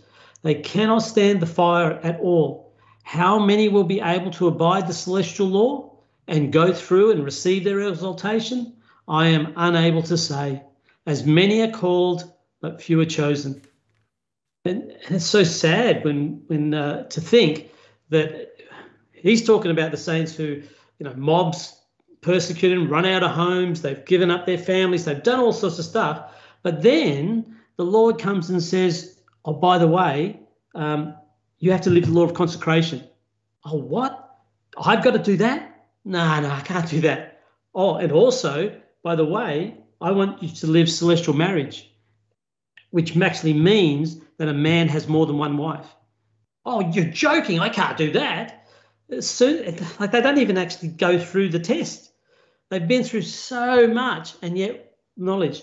What is going to be revealed to us when Joseph Smith returns? He's made it very clear as you read through the teachings of the prophet Joseph Smith, it's it's abundantly clear. He has been thwarted over and over and over again to actually share with the saints what he wants to know. I was reading, I don't think it's in these ones, this morning I was reading it, and he goes, Oh, I guess uh, because of who I'm speaking to, I can only use the Bible. I can't use anything else. So I'll just teach you from the Bible. I wish he could just teach from his heart. So that he could tell us what the angels and God has revealed to him clearly. And I believe that's what he will do when he comes back, because when he reinstitutes celestial law, we'll have what we've had and more truths will be ex- expanded upon, and we'll have more understanding. Will we, after all of the trials we've been through to that point, will we accept what he says? That's what we need to be preparing for. In page 324 to 25, Joseph said, All men know that they must die, and it is important that we should understand the reasons and causes of our exposure to the vicissitudes of life and of death, and the designs and purposes of God in our coming into the world, our sufferings here and our departure hence. What is the object of our coming into existence, then dying and falling away, to be here no more? Is it but reasonable to suppose that God would reveal something in reference to the matter? And is and it is a subject we ought to study more than any other. We ought to study it day and night, for the world is ignorant in reference to their true condition and relation. If we have any claim on our Heavenly Father for anything, it is for knowledge on this important subject. Could we read and comprehend all that has been written from the days of Adam on the relation of man to God and angels in the future state, we should know very little about it. Reading the experience of others or the revelation given to them can never give us comprehensive view, give us a comprehensive view of our condition and our true relation to God. Knowledge of these things can only be obtained by experience through the ordinances of God set forth for that pers- purpose. Could you gaze into heaven five minutes, you would know more than you would by reading all that ever was written on the subject. Hence our reason to, to gain our calling election made sure and then to sit the second comforter. But notice this also. Um, it's knowledge of these things can only be obtained by experience through the ordinances of God set forth for that purpose. As we participate in the ordinances um, and live celestial law as much as we can to this point, we receive revelation, we receive faith, knowledge, faith, knowledge, revelation from God, and we do gain our own experiences so that we can become more confident. That's what this whole fireside's been about is how do you increase in that knowledge so that you can be confident and have an assurance before God. And whilst the ultimate goal is um, the second comforter, the journey to the second comforter is very important. And that what will continue is to increase in, in uh, assurance and in confidence so that we can achieve that. And then we will get to the point where we can gaze into heaven for five minutes, for more, and learn and be revealed uh, to uh, more will be revealed to us. Continuing on the quote from Joseph Smith, we are only capable of comprehending that certain things exist, which we may acquire by a certain fixed principles. If men would acquire salvation, they have got to be subject before they leave this world. To certain rules and principles which were fixed by an unalterable decree before the world was. So I would think it's important that we need to, while we're here in this life, understand what those certain rules and principles which were fixed and unalterable decreed before the world was. If we don't understand that and have that in this life, then how can we acquire? And when he talks about salvation here, he's also talk, he's talking about exaltation. We can't achieve exaltation unless we do in this life what needs to be done. And he continues the disappointment of hopes and expectations at the resurrection would be indescribably dreadful. How sad it will be if we think we're going to be exalted and, and live as God lives, sit with Paul and talk about the days on earth, or Abraham, etc. We think we're going to do that, but when we get there, we're not. That, that's that's a, a pain I don't want to achieve. Um, uh, so my desire is is to hear the word of the Lord, to exercise faith, to gain knowledge, to do the will of the Lord, and continue that cycle over and over and over again, receiving the revelation, participating in the ordinances in the temple and at sacrament, and continuing on, feasting upon the words of Christ, doing all these things, having a, a, a belief which turns into a knowledge and knowing, listening to the Spirit day by day, hour by hour, minute by minute, second by second, that I may know that I am doing the will of the Lord. And as more and more of us continue to know that we are doing the will of the Lord, we will be prepared to answer the call to redeem Zion. This is my testimony, and I share it with all in the name of Jesus Christ. Amen. Amen. Amen. Okay, so I'll go ahead and finish with our last thoughts and very similar uh, to what's been shared. We found a talk by President M. Russell Ballard, and the entire talk is amazing. And it's actually called Is It Worth It? And he said, We must be willing to establish in our minds this fact. In order to be great in whatever we attempt to do in life, we have to decide in advance that it is all worth it. And when we read that phrase, you know, it was like, in order to be great in the redemption of Zion, we have to decide in advance that it's all worth it. And he said, Have you set your priorities? Are they solidly and clearly defined in your minds? Were they clear when you got up this morning? And will they be clear tomorrow morning and each morning? And from the other passage, I would say, is that clear in your mind? Hour by hour, day by day.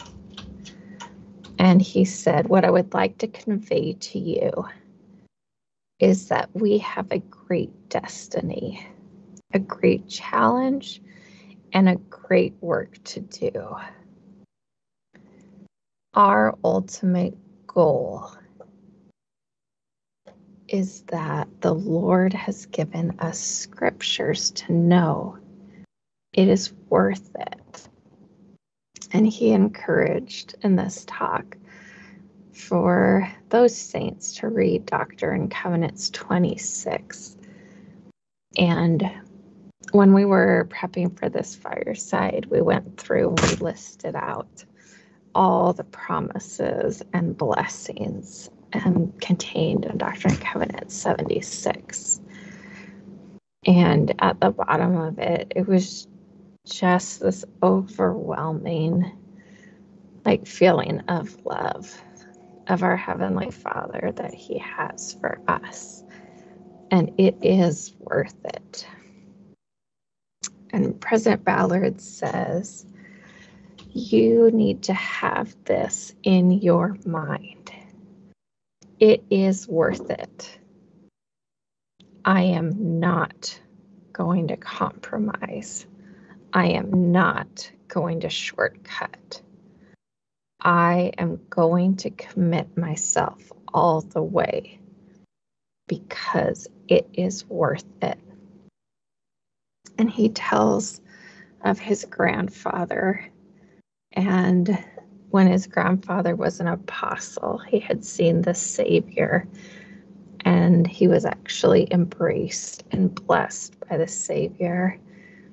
And he said, Oh, if I could live worthy, though it would require fourscore years, so that in the end, when I have finished, I could go into his presence and receive the feeling that I then had in his presence. I would give everything that I am and ever hope to be. That is what we are trying to do. That's where we're trying to go. We are trying to qualify for that blessing and that honor.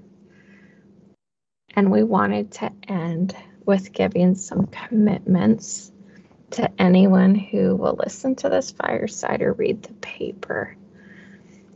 Ponder the phrase what does it mean for you and your family to decide in advance that it is all worth it?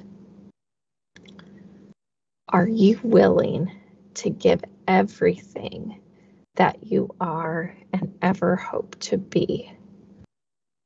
Are you willing today, this very moment, hour by hour, day by day, to covenant with God that you will pay the price? We know that as you covenant to give everything and to pay the price, that your life and eternal progression will never be the same. You will be changed, and you will have an ever burning desire to obey God's commands and sacrifice everything in any way you will. And we say that in the name of Jesus Christ. Amen. Amen. Thank you both for what you've added to this fireside to the, to the understanding of uh, lecture on faith six, um, part one. I want to, uh, in my closing uh, thoughts on this, I want to bring this back to the redemption of Zion again. Not just because it is singly the most important thing for saints to prepare for, but because it provides an example that will bring the principles taught in this lecture into clear focus. If we are not preparing and doing all we can to bring about Zion, it would be offering an insult to the dignity of the it would be offering an insult to the dignity of the creator were he to say that he would be a partaker of his glory when he should be done with the things of this life end quote. That was what was just said. So brothers and sisters be watchmen on the tower. Or in other words all mine israel saith the lord. As we become watchmen on the tower and walk the walk the lord has laid out for us as we walk the walk the Lord has laid out for us, we will develop this faith. We will wax stronger and stronger in confidence and be filled with the love of God. We will obtain faith as the brother of Jared. The Lord promised, quote, There has been a day of calling, but the time has come for a day of choosing. And let those be chosen that are worthy. And it shall be manifest unto my servant by the voice of the Spirit, those that are chosen, and they shall be sanctified. And inasmuch as they follow the counsel which they receive, they shall have power after many days to accomplish all things pertaining to Zion. End quote. In the name of Jesus Christ, amen. Amen. All right. Well, let's uh, close with a prayer and um, Okay. Our Father in heaven, we're so grateful for the opportunity we have uh, the technology and that it all worked well, um, that we're able to communicate all over the world. Um, as thou hast said, um, thou will pour out the power of the Lamb of God upon your saints uh, all over the world. And we're, we're grateful for that as that is continuing to grow. We're grateful for um, our Saviour Jesus Christ, for his atonement. We're thankful for Joseph Smith and the head of the, being the head of this dispensation and the one who holds the keys and will direct us and guide us to, to Zion. Uh, we're thankful for the lectures on faith and pray they'll bless us and help us to understand and grow and receive revelation as we study these and learn more about them. That we may uh, increase in faith and have the faith as a brother, brother of Jared um, by rending the veil of unbelief. And most of all, Father, we pray that they'll um, help us to help others to make the redemption of Zion the focus of our lives so that we may be prepared um, for the events of the second coming of the Saviour, that we can um, help this come about. We ask for thy guidance and, and the, the, inspiration that we may know thy will and do thy will. And uh, again, we thank thee that we're able to um, have these firesides and grateful for uh, Micah and Ashley for the effort and time they put into it. Pray they'll bless them and bless all those who are listening uh, to take the time they've taken to, to participate in this both now and later. And we offer this prayer and close the fireside in the name of Jesus Christ. Amen. Amen. Amen. Well, thank you, Joseph, and thank you, Ryan and Kelly. I, we always kind of connect those two together. They're a tag team. Um, uh, thank you for the time you, you took to do this. I know that these lectures on faith are important, and I'm, I'm just so grateful that there are others that are willing to learn these things. This isn't, you know, as I've said a million times, there's no such thing as deep doctrine. There's just revealed or unrevealed. And this is revealed doctrine. This is stuff that we have at our fingertips and the, we, we're required to learn it. And uh, we shouldn't view it as a burden because when we learn these things and we live according to them, it, it blesses our life uh, immensely. And we can then remember uh, these, not re- learn, remember these promises uh, that were promised to the house of Israel. And then we can make ourselves worthy. We can sanctify ourselves and make ourselves worthy so that we can participate in these events too. And so, I'm really grateful for that. So thank you, Joseph. Thank you, Ryan and Kelly, for that. Uh, it was awesome. You're very welcome. Yes. So it's fun to be here. Thank you. Sorry. So I was just going to share really quick this funny story that actually happened yesterday that uh, reminded me how to be childlike. So in um, the United States, we were supposed to be able to see the aurora borealis or like the northern lights because of the solar flare or something like that. I don't I don't remember exactly. Um, but my husband came and he really excited said, "Quick, grab all the kids. We've got to come outside to see this." And my little 6-year-old, she's so sweet. She ran, grabbed her backpack, which is like her play equivalent of like a 72 hour kit. And she goes, I'm ready. Is Jesus here? And we were like, That's what I need. I need to be like that. And it was it was so touching because we had just gone over this lecture and you're right. I mean, like this is something that we can teach to children and we need to be taught it frequently. And I didn't put it as part of the fireside, but I was like, I want to jump out the front door with my bag full of stuffed animals, just hoping, you know, that the redemption of Zion is here. So, yeah, we can all be that way, be childlike. yeah. It goes along with um, you know, each generation, our children are going to go into Zion, um, and so that's going to they're going to be amazing.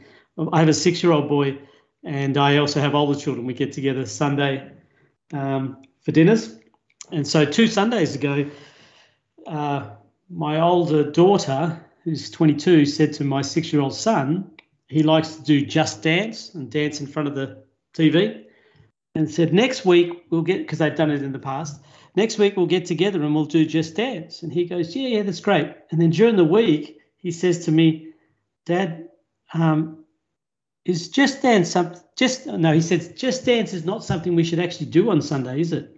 Said, well, no, it's not really. He said, but not all your siblings have the same belief. What do you think I should do? I said, well, why don't you ask the Lord? And so he said a beautiful prayer and asked Heavenly Father, um, should he do Just Dance with his sister on Sunday? And after the prayer, I said, How did you feel? And he goes, No, I don't think I should.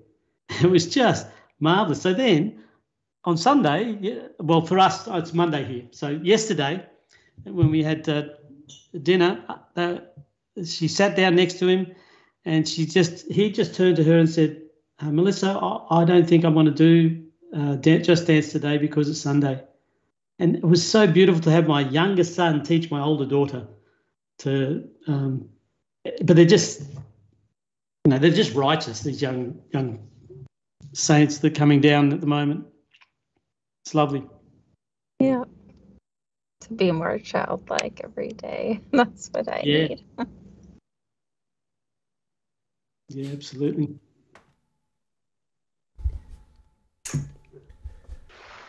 All right. So I probably won't stick around for questions. Um, sorry about earlier. My little girl bumped her head, and then the dog wouldn't go with her to sleep. And then she was carrying the cat around that was screaming because it didn't want to be held by the six year old.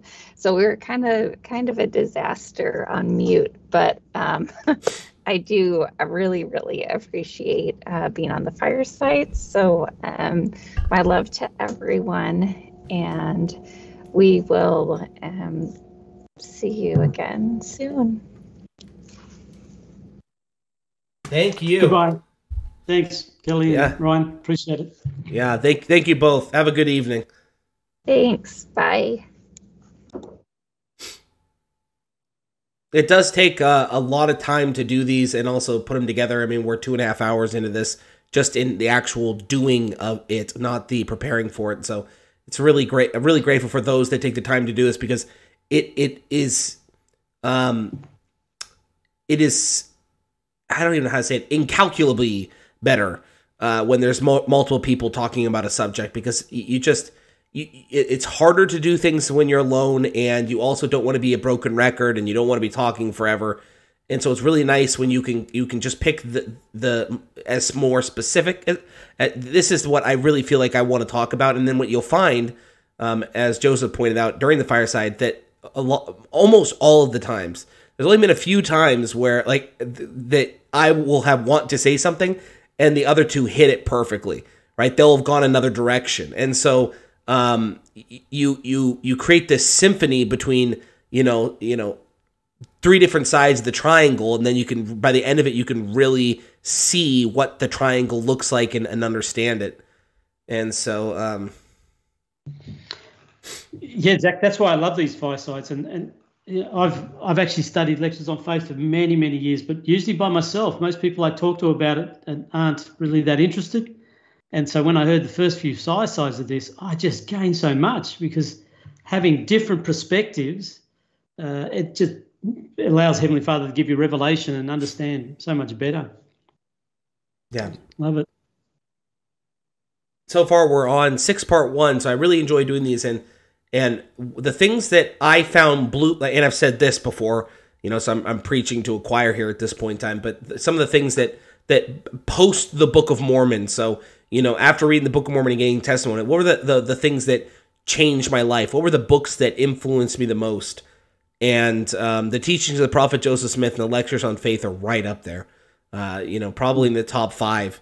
And uh, like Joseph said, uh, I've had the same experience.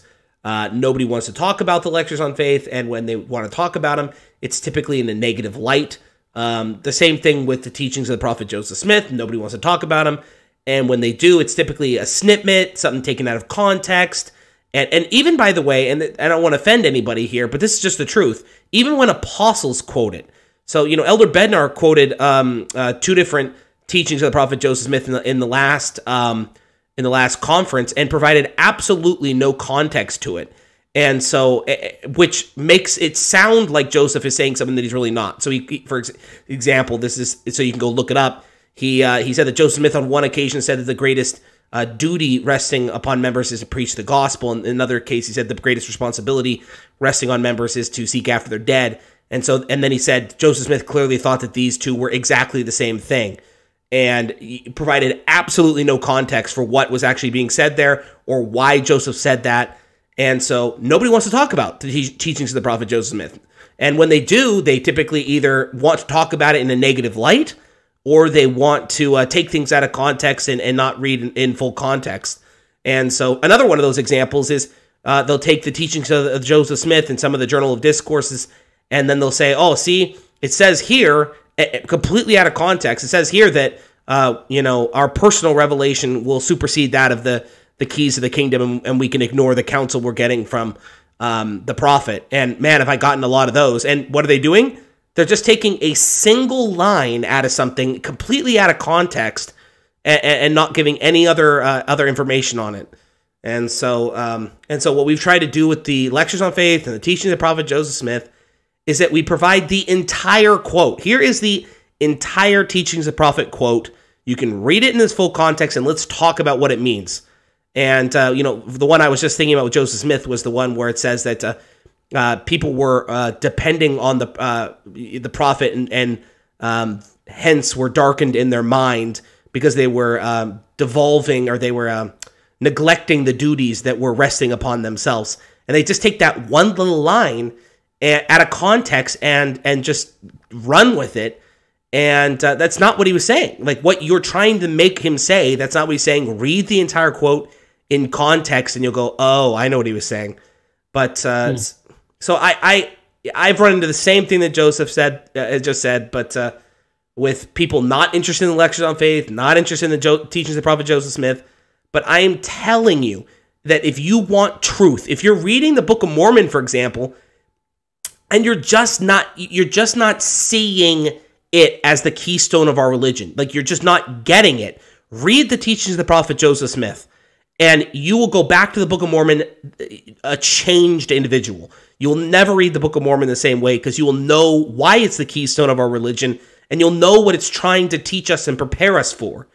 And um, it, it, it will change your life. And so I love the teaching of the Prophet Joseph Smith and I love uh, the lectures on faith.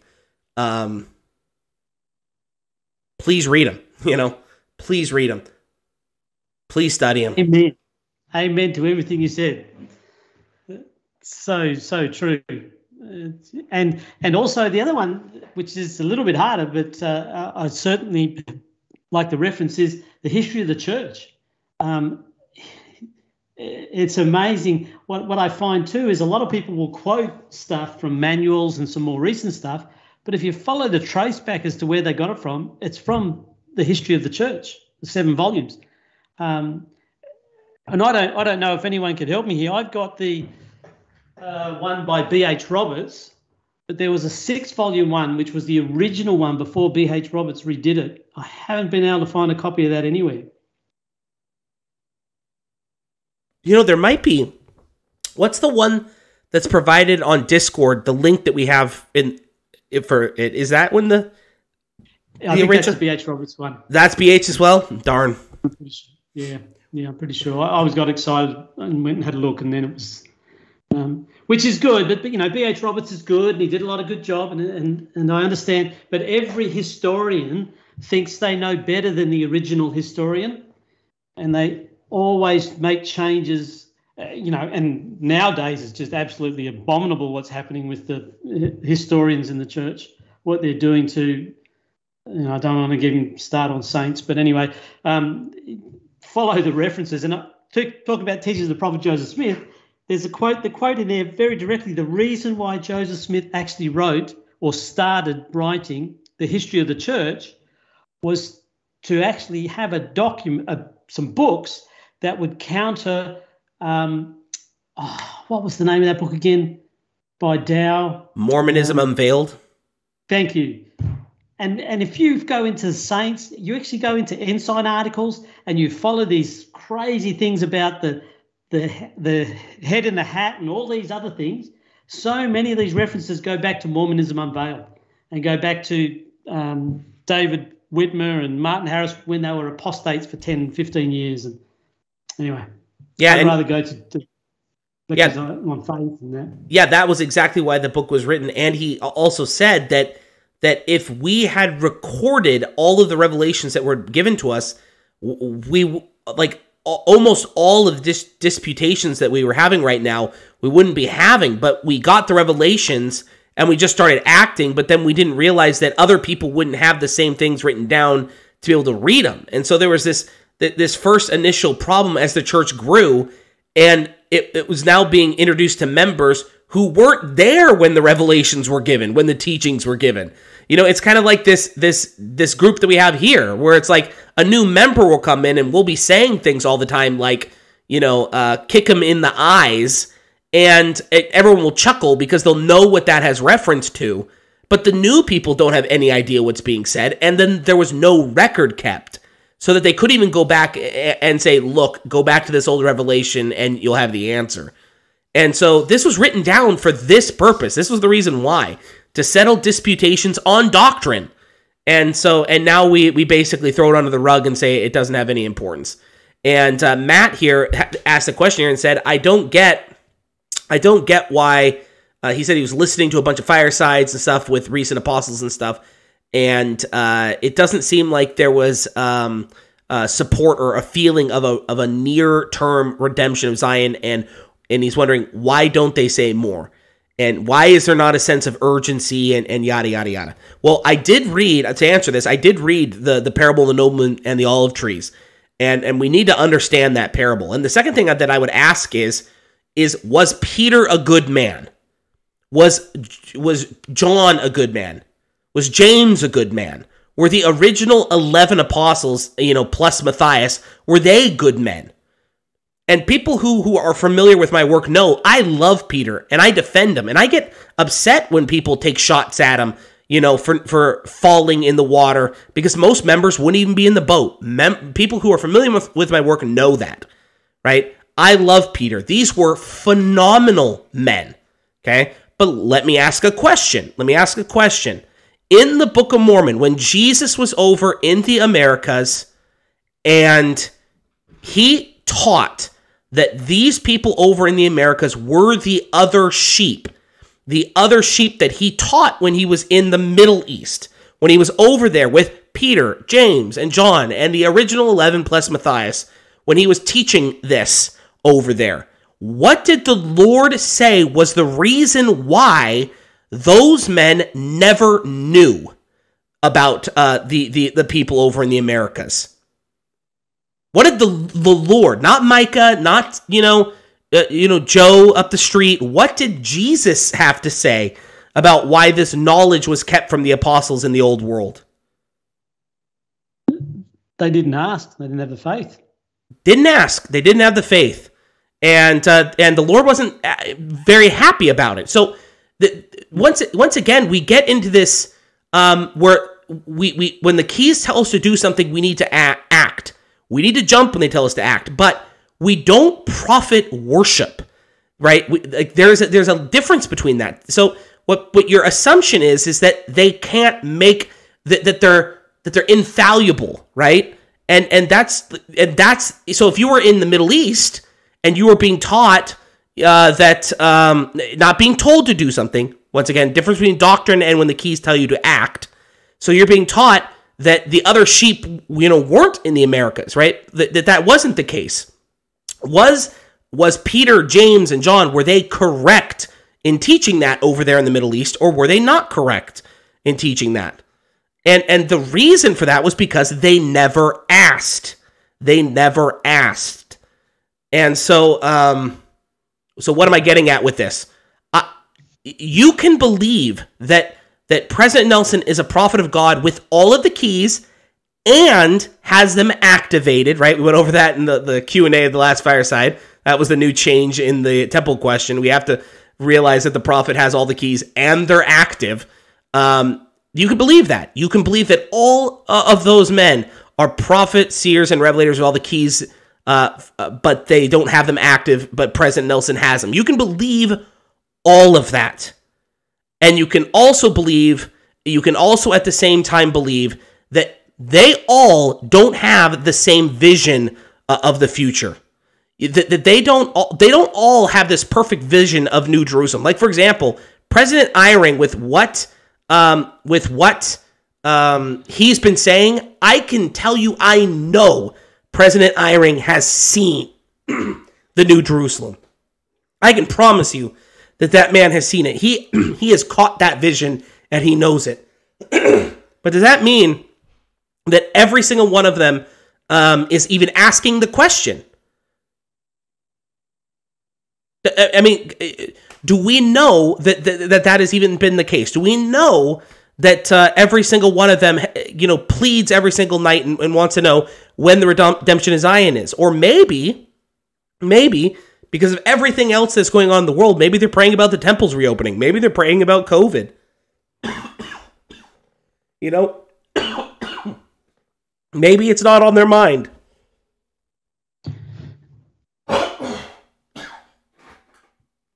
And that's um, and tying that in with what you've just said. I'm doing. Um, I'm going through uh, Isaiah and just really drilling down from your lectures and rewriting them for myself. So I got my own references in that. you just read Isaiah 1, and uh, it kind of gives you an idea of what's happening.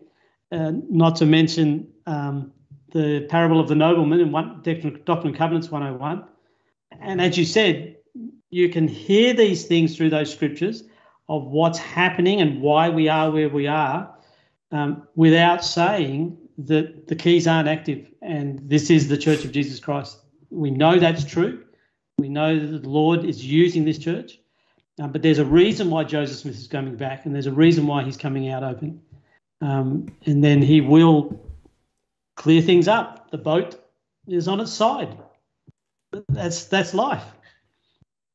And um, that was referencing Joseph's dream. Yeah, the steamboat. Yeah. Yeah. Yeah, and Isaiah just absolutely lays it out perfectly. yeah, I, he just he did he lays it out perfectly, and we have to understand um, what our responsibility is. We, we we know the church is true. We know that these men uh, have the keys of the kingdom and that they're active. Um, but we also should know what's going to happen. What is happening in our future? And um, it is. And by the way, this is exactly what uh, Joseph Smith was talking about when he said people were relying entirely on the prophets and apostles and because of the neglect resting uh, of the, duties resting on themselves their minds have become darkened. This is what that has reference to. This is where, where people will get to a point in time where they will say unless the prophet says something i won't believe or do anything. And that that's the problem where where the, the question shouldn't be when the keys tell us to jump, should I jump? At that point in time, it should be just how high do you want me to jump? The question really is, what do I do when the keys aren't talking? That's the that's the question. Because we know when the keys tell us to do something we need to do. But when they're not talking, what do we do? Where do we spend our time? Where do we spend our time? What do we do? What do we say? You know, uh, what are we doing in our spare time? What are we believing in? What are we preparing for? You know, we can't go to the Lord and just say, you know, well, the prophets and apostles weren't, you know, seemingly very interested in this stuff, and therefore, uh, I didn't, I didn't think it was very important, so I didn't study it and prepare myself for it. You know, like th- that. I'm sorry, that excuse just isn't going to cut it, and so um, it's not going to cut it. And that, that's a summary of tonight's fireside, isn't it? Um, without a knowledge that we're doing the will of God. We, we don't get that knowledge from the prophet. The prophet guides us as a church and he tells us, and if the keys tells us to do certain thing, that's cool. But the rest of the time, hour by hour, minute by minute, second by second, what does the Lord want me to do? I can ask and he'll reveal it to me. We can know what Joseph knew as soon as we're ready to have it. He told us that. You know, yeah. And Fire and Ice just says here, I know about around 500 saints that are praying night and day to be chosen to redeem Zion.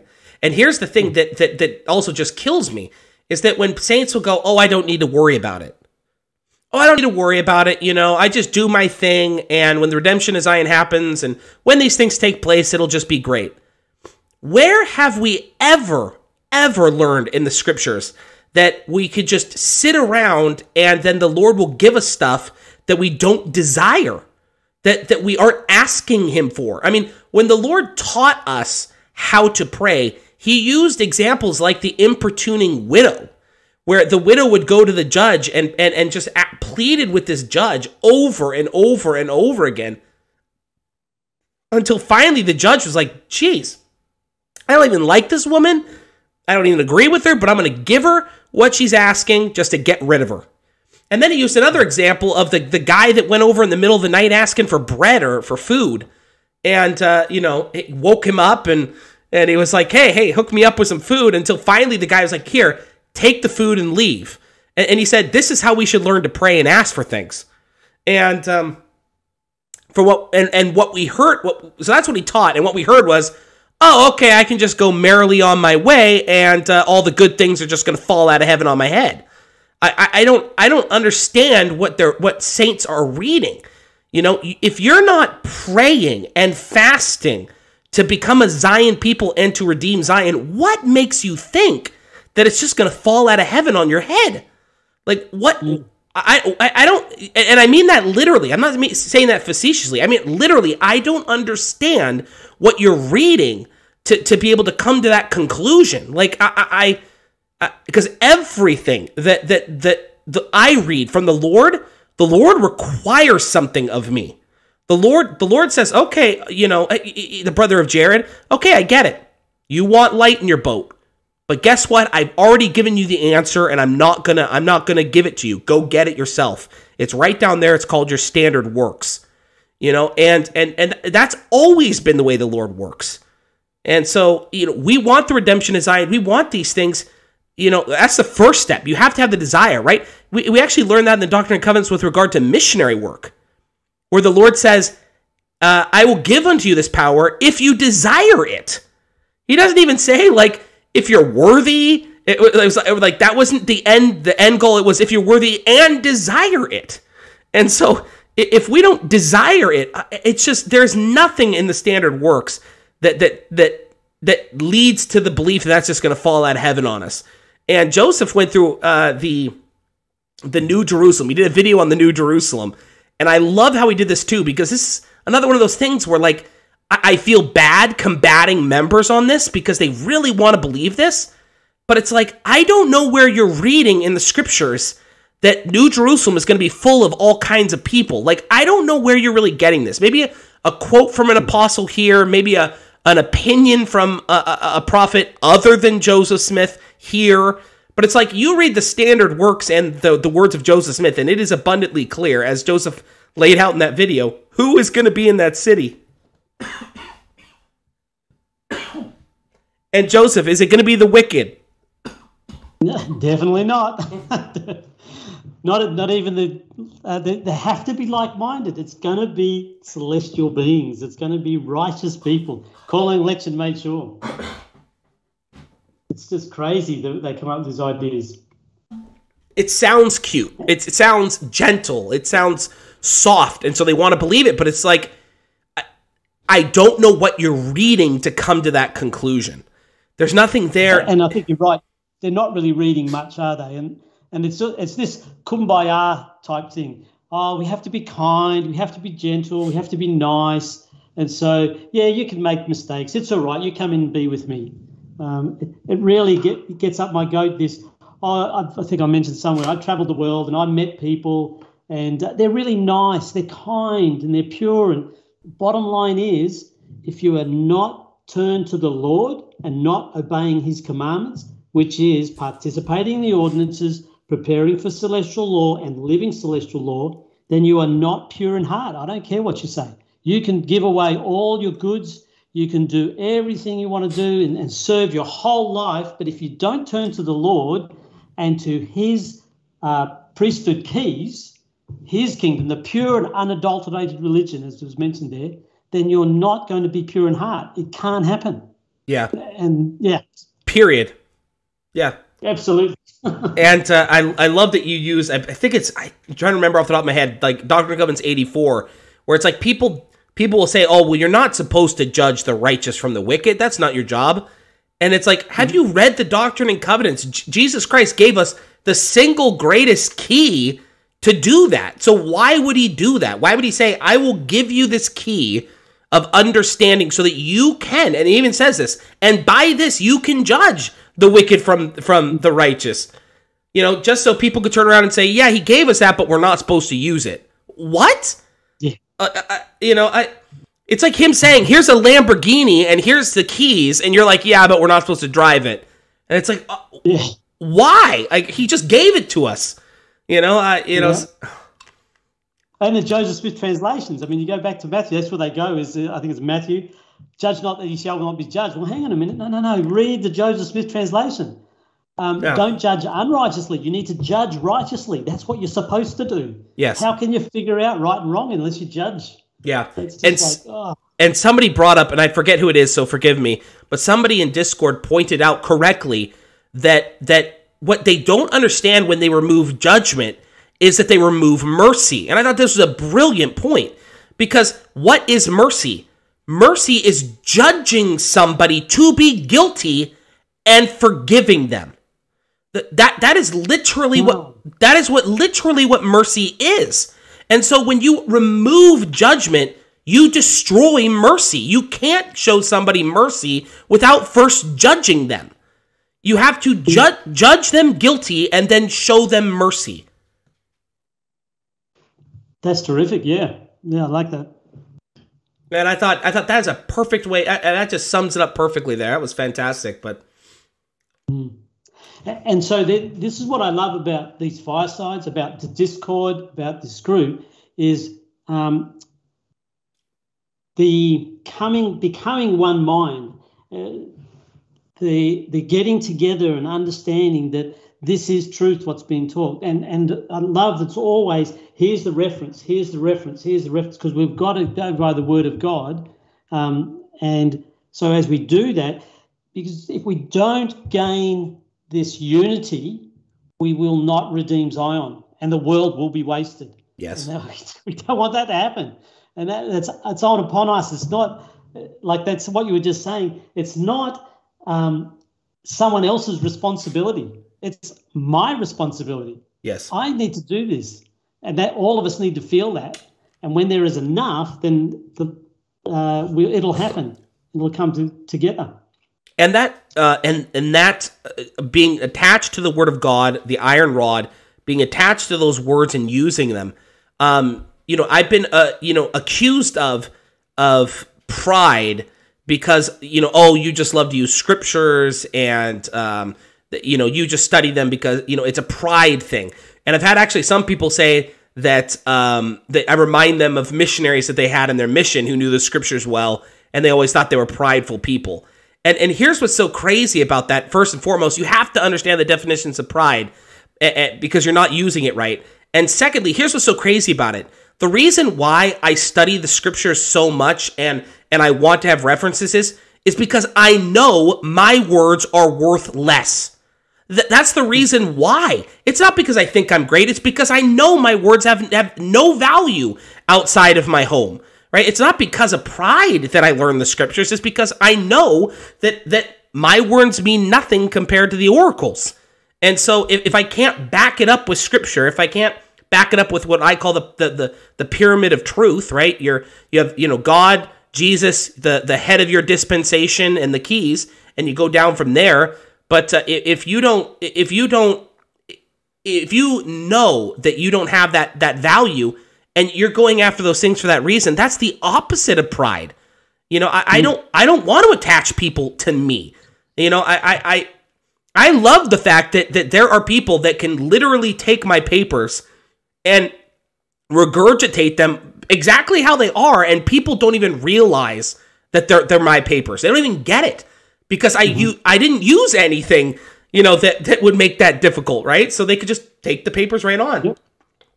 Well, that, that's exactly where um, the New Jerusalem paper that I did with um, sins of rebellion and sins of wickedness, that became so clear to me when reading one of your papers. Um, anyway, that's where I got it from. But you were just using scriptures, and then that's all I did was just use scriptures. It's not that's not my thought. It's not my who I am, uh, and that's that's really the power, isn't it? It's the power of the the, the prophets, the, what they say, what they write. Um, that's how we come to God. and you'll always be able to find a concert of clarity. I love how Yes. I, I love how Bednar said that you will always be able to. Sometimes you will find single quotes And some of them might be even really, really nice, right? They give you hope and peace, and you're like, oh, that sounds really nice. But if you can't find anything else that backs it up, you need to throw it out. yes, yeah, absolutely. And then the other thing that, that goes along with that too is uh, for us becoming one is if we read, I like how you point out, you've got Joseph Smith. So he's the head of the dispensation, obviously the Saviour above him, but Joseph Smith, the, the writings and verified writings for that, then Brigham Young and others who are close to him and so forth. And if we don't understand what they've actually said, our first port of call should be, well, I need to ask the Lord to help me to understand. Whereas I hear so many people, oh, but Brigham Young said this, and that's a load of hogwash. Well, do you really under? Is it a small quote? Is it only part of what he said? Did you read the whole thing in context? And then do you know what he was meaning? Um, and so a lot of the things that I've come across where it, does, it doesn't it doesn't fit into my what was the word they used my uh, forefathers' teachings or what I already believe. I've had to park and wait, and invariably, one by one, the Lord opens my eyes, and then I can understand because me and every time. Joseph Smith every time. It's, if I don't understand it, then they're right and I'm wrong. Yeah.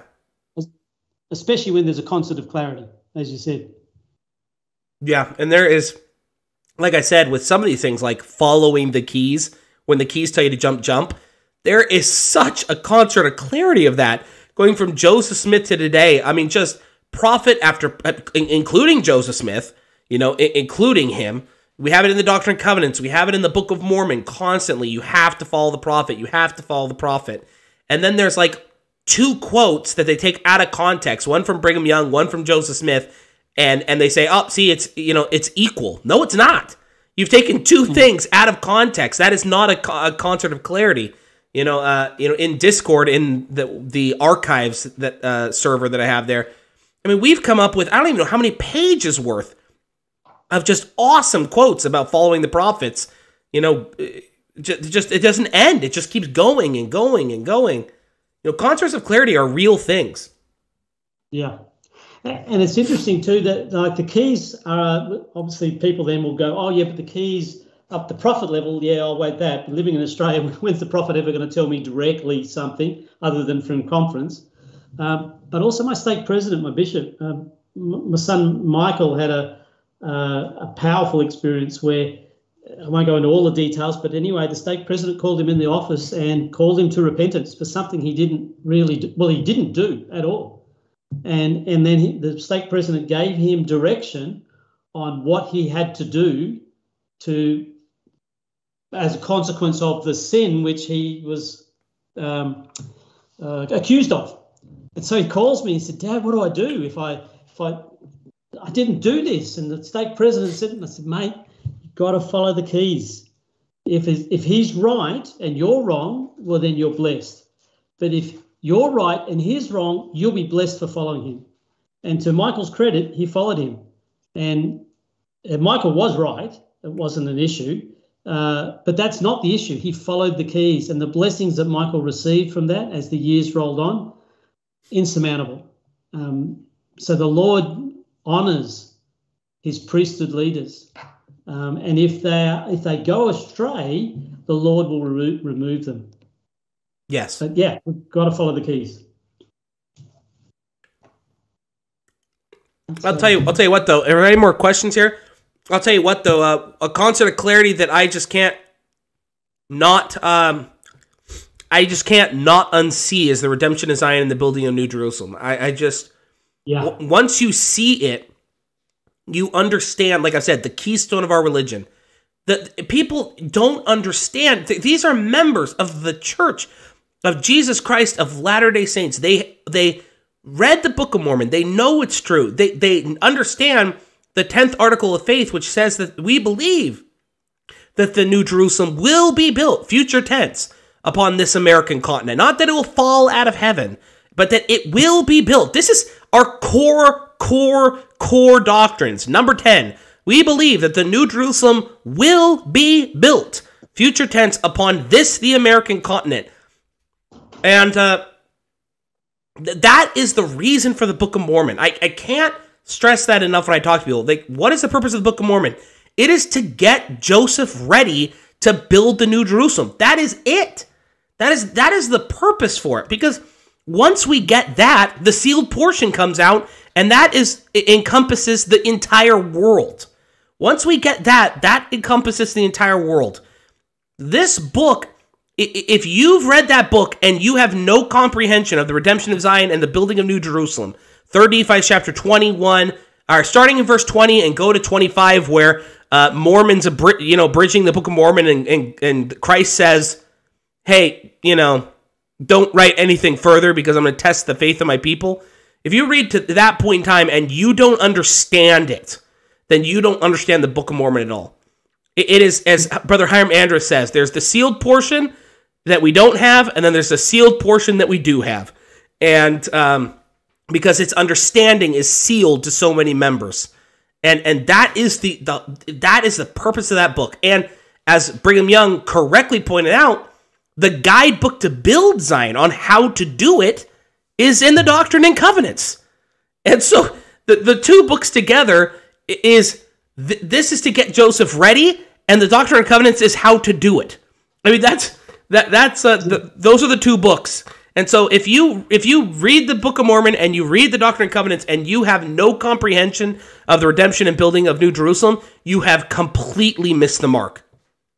Mm, mm, absolutely, and it's what what I love too is that, as you said, with the Doctrine Covenants as a as the um, instruction manual, um, we do miss it so often, but it's there, and if you have eyes to see, the Lord will open it up. Uh, one other thing that's really important, and what's what I love about this, as we're getting on this idea of the redemption of Zion, and we did Zion or bust, and but I think as a group of people, and we're sharing with them, we have to get on exactly the same page um, I felt to share an experience, and I didn't know when the Lord wanted me to share it, but I'll share it now. I've, uh, I've served on a high council and, and had to go to uh, disciplinary councils, and I've sat on a few. And the stake presidency go off and pr- like the person will be there. They go out of the room. The stake presidency go and pray. They come back. They present it to the high council. You sustain it, and then you move on. And the person comes in and you talk about what goes on. Only once did I have the experience where when the first, when the stake presidency came back and presented their decision and why their decision was what their decision, all 16 men in the room, we sus- we sustained it and we were all on exactly the same page. We were all one. We all felt it. The spirit was so strong, so powerful. Never have I felt that in a meeting like that before but it's because we were one one in mind, one in heart. We loved the person. We knew this is what was the best for the person. We were all in tune. At other times, you know, you, you do that, you have, and then as soon as men start talking about football and this and that and other stuff, their minds weren't actually in the game. Um, the, the stake presidency might have had it, but this particular one, and it just really highlighted to me that if we want to redeem Zion, we all need to be on the same page. We all need to be fire in our heart that we're going to redeem Zion. We're working towards our calling election, make sure we believe this is true. Joseph could come out any day. He could ask us. And this this is dependent upon us. It's we've got to do this. Um, it should be consuming everything we do. The whole purpose of our lives is to redeem Zion. Be like Kelly's little daughter. Is Jesus here yet? Is Joseph here yet? Is, it, is this where we're going? that is so cool. Yeah, that's awesome. yeah, exactly. Where's my backpack? But yeah, the uh, yeah. and you know we have we have that you know prophets flat out saying it like that that talk from President Benson as prophet of the church saying saying brothers and sisters my beloved brothers and sisters we must prepare to redeem Zion and and members just go, eh. Yeah. Prophet after prophet. they keep saying it over and over and over again. Yeah. eh. It's just. Yeah, I don't think he really means it. Yeah. Yeah.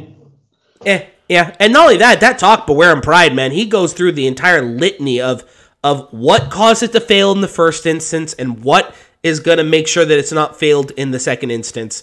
And President uh, uh, Nelson uh, recently said that the time is coming when those who obey the Lord will be separated from those who do not. And and President Benson let us know in that talk, beware pride, what's going to put you on one side and what's going to put you on the other. So, yep, very clearly. It's wonderful. So yeah, yeah, Justin Howard said Joseph Boys is the answer. That's right. We uh, get that together. But Joseph Boys have got to be ready. They've got to they've got to have that, and that's you know I was speaking to someone a couple of months ago about calling election made sure, and they said, oh yeah yeah, ten years ago I I put a lot of effort into that, and then I realised I was asking for too much and I shouldn't shouldn't do it anymore. Hmm. I said, why? Why are you stopping? If the Lord's going to guide us to anything, He's going to guide us to having our calling elections made sure. Joseph Smith told us that, that we should be seeking after that. Everything we do, we should be working towards that. Yeah. And if we don't believe it's going to happen, it's not going to happen. It's as simple as that. You know, and, and there are, and and I'm not perfect. There are moments that I get tired, I get exhausted, I don't want to do X, Y, or Z anymore. You know, I don't I don't want to do this. And and I get the urge to fall back asleep. I get the urge to, ah, I was asking too much and you know, it's just gonna happen when it happens. Like I understand that. I understand that urge, but what I also know, not just understand what I know, is that the scriptures are true. And I know what the Savior said about those who look back once they've put their hands to the plow. And that is that mm. they're, they're not fit for the kingdom of God. And so I, I, I want to stop. And there might be moments where I lay on my bed or do things and I feel sorry for myself. But the the knowledge that I have, that foundation that I have, prevents me from staying there too long because I know what I want and I know I'm not going to get it if I stay there too long. And I know I definitely won't get it if I let go of the plow and start walking the other direction uh, you're gonna you're, you're not fit for the kingdom, and and in, and in some cases you might be turned into a pillar of salt. So, hmm. um, and that's the the important thing too. There, like you said, no, no one on earth at this particular point in time is well, maybe Joseph is on earth at this particular point in time. I think he is, but anyway, the mortals are not perfect, and you don't have to be perfect to receive your calling election made sure. You have to not have sins of rebellion you have to be working towards. And you know, you have those times where you flop down and ah, oh, but you get back up again because of that knowledge, that assurance. And it's the grace. It's only through the grace of Christ that we can attain our calling election made sure. After all we can do, and then you, and that and then that ties into. I, I, I know I'm labouring the point, but it's just been really pushed upon me. Believe that hey, Joseph Cicluna, the you know, the idiot that's done this or that, and the mistakes I've made, and and the things that I can't do, and you know, I know all. I don't even know all the imperfections, but the imperfections I have. You mean I can get my calling election made sure? Oh, but if I say that, I'm proud. Uh, no, I'm not fighting against God about this. If I tell him I can't do it, then I'm pri- I'm prideful. He's told me that I can do it, and so therefore I need to accept and believe what he says. So this can happen. If I can do it, um, Micah can do it, Kat can do it, Reba can do it, um, Ammon can do it. We, we can do this as long as we just follow the steps laid out by God. You brought and a, we'll redeem time. You brought a t- you brought a tear to my eye there, Joseph, using the correct definition of pride. So that uh, It's right. That's right. If you if you stay moping and you know uh, and just like that forever, and you don't reach for the hand of grace, that is pride. Not yeah. not saying I can do all things with the Lord. I mean that's that's an understanding and that's a a, a principle of that faith is a principle of power. And um, so no, yeah, that's exactly right. We can do this. And and like you, you were just saying, what the realization I had a couple weeks ago that I shared with uh with, with the fireside with the two brothers was that if it's not Micah, if it's not you know uh, Joseph, if it's not uh, you know Joel in the chat, if it's not Reba, it's going to be somebody.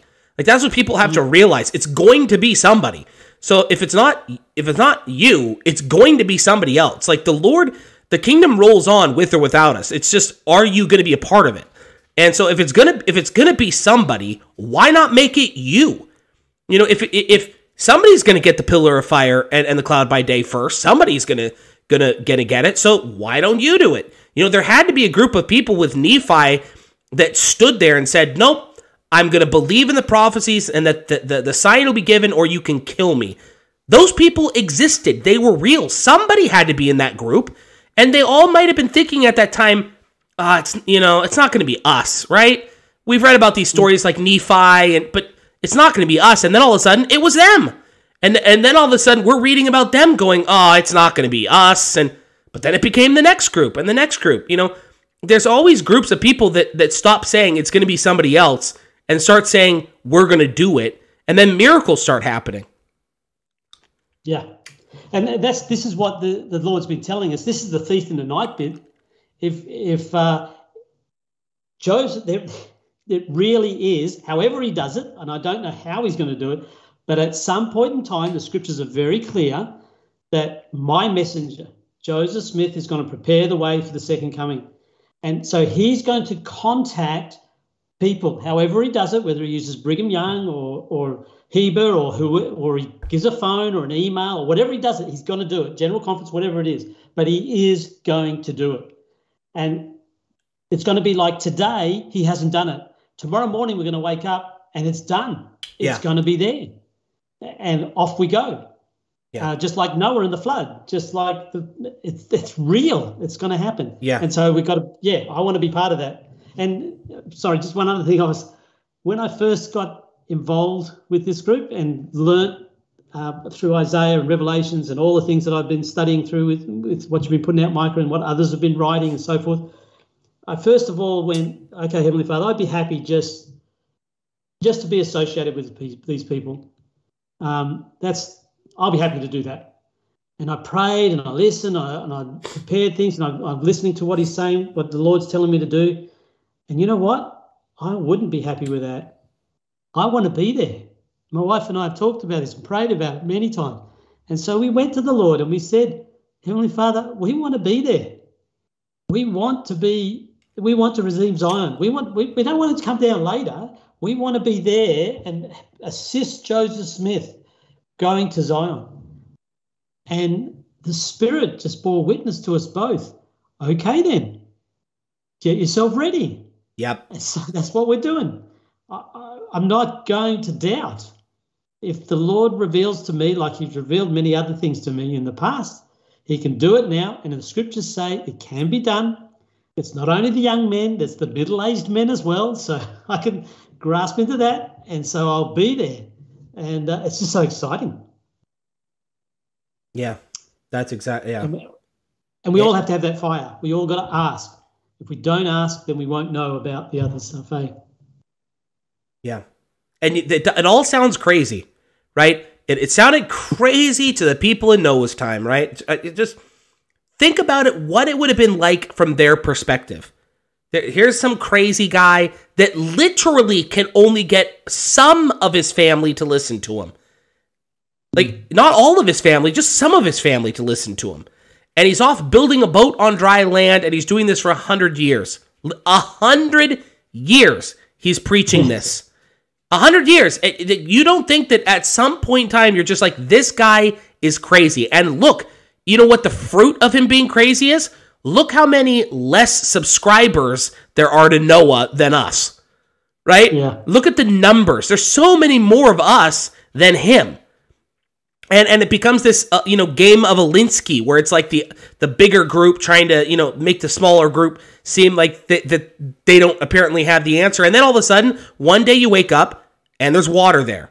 It, it, it's it's doesn't seem real, but somebody had to wake up in the flood and die, and, and yeah. somebody is going to wake up and and not be invited for the redemption of Zion. Somebody's going to be that, and, and somebody is going to be the person in the ranks going to to Jackson County. Like it's going to be somebody. What we're here to decide. There's been a day of calling. This is a day of choosing. Like this is that is what that scripture means. There's been a day of calling. It's done happened. We're living in a day of choosing. So, you know, uh, let those be chosen who are worthy. And so uh, that is that is where we are right now. And and and I I could not agree more. And and and by the way, Joseph, it's been one of the things that I've had to combat the most on YouTube. Probably mm-hmm. the most from from quote unquote saints is is I believe this stuff is going to literally happen. And and and what's amazing is the the the the amount of saints that not only don't, but actually are anti that. You know, they, they want to they want to spiritualize and make figurative everything. And it's like not only you know will we not get these things with that kind of faith, you won't be invited to it. And that's what's that's what's more heartbreaking. If you don't develop the faith as a brother Jared, you're not going to be there. Yeah, they're, they're, obviously also missing the temple. You know, that the whole one of the main reasons for the temple is we need to visualize ourselves going from the telestial to the terrestrial and into the celestial. Yeah. If you can't visualize yourself doing that, I think who says that. If, can you imagine yourself in front of God? If we can't imagine ourselves actually going to Zion and redeeming Zion, and if we don't read the scriptures and believe what they say, we're not going to even know that that's what we should be thinking about. But once you start reading the scriptures and and listening to the prophets and see what and believe that what they say is true, that Jackson County, Missouri is Zion, that we that Joseph Smith is going to take his people there, that we will redeem Zion, like all the prophets have been asking us to do, then it's not going to happen for those people. But there will be people who do believe it and that's going to happen. So that's yeah, just the blood. Yeah, I'm with you. It's amazing how people just don't want to see that. And I'm uh, glad for the ones who do. I'm so I'm so thankful. This has been, and I know we all say this, but it's just so nice to finally meet people who understand and and and I'm not crazy. This is true. This is real. And and the spirit just keep not just the spirit, but the scriptures over and over again. Now I'm seeing it. It just burst out to me that Zion is coming. We, we're going to get this, and it needs to happen because all these other things, and this is it's a huge, this is a huge thing for the preparation for the second coming of the Savior. It's what President Nelson's been preparing us for. Just blows me away. It's so wonderful to be a part of it. Yeah, that was you know that was Alma chapter five. Super good questions, and and and the what's crazy about this figurative versus spiritual thing is that the Lord even tells us that the redemption of Zion is going to take place and the Lord is going to quote unquote make bare his holy arm in the eyes of all nations, end quote. Like that's how he's described this event. And then he says yeah. in Doctrine and Covenants 101 that it's going to take place just like that. And he gives you the reason that these and all these things are going to take place exactly like that. Quote, that the prophets might be fulfilled, that, that the prophets' words will be fulfilled. That's the reason. So the whole reason that that that it's gonna you know it's going to take place literally and exactly like it said it's because the, the Lord upholds his prophets. The Lord mm. is the Lord is not Satan. Like you would talk about Alma.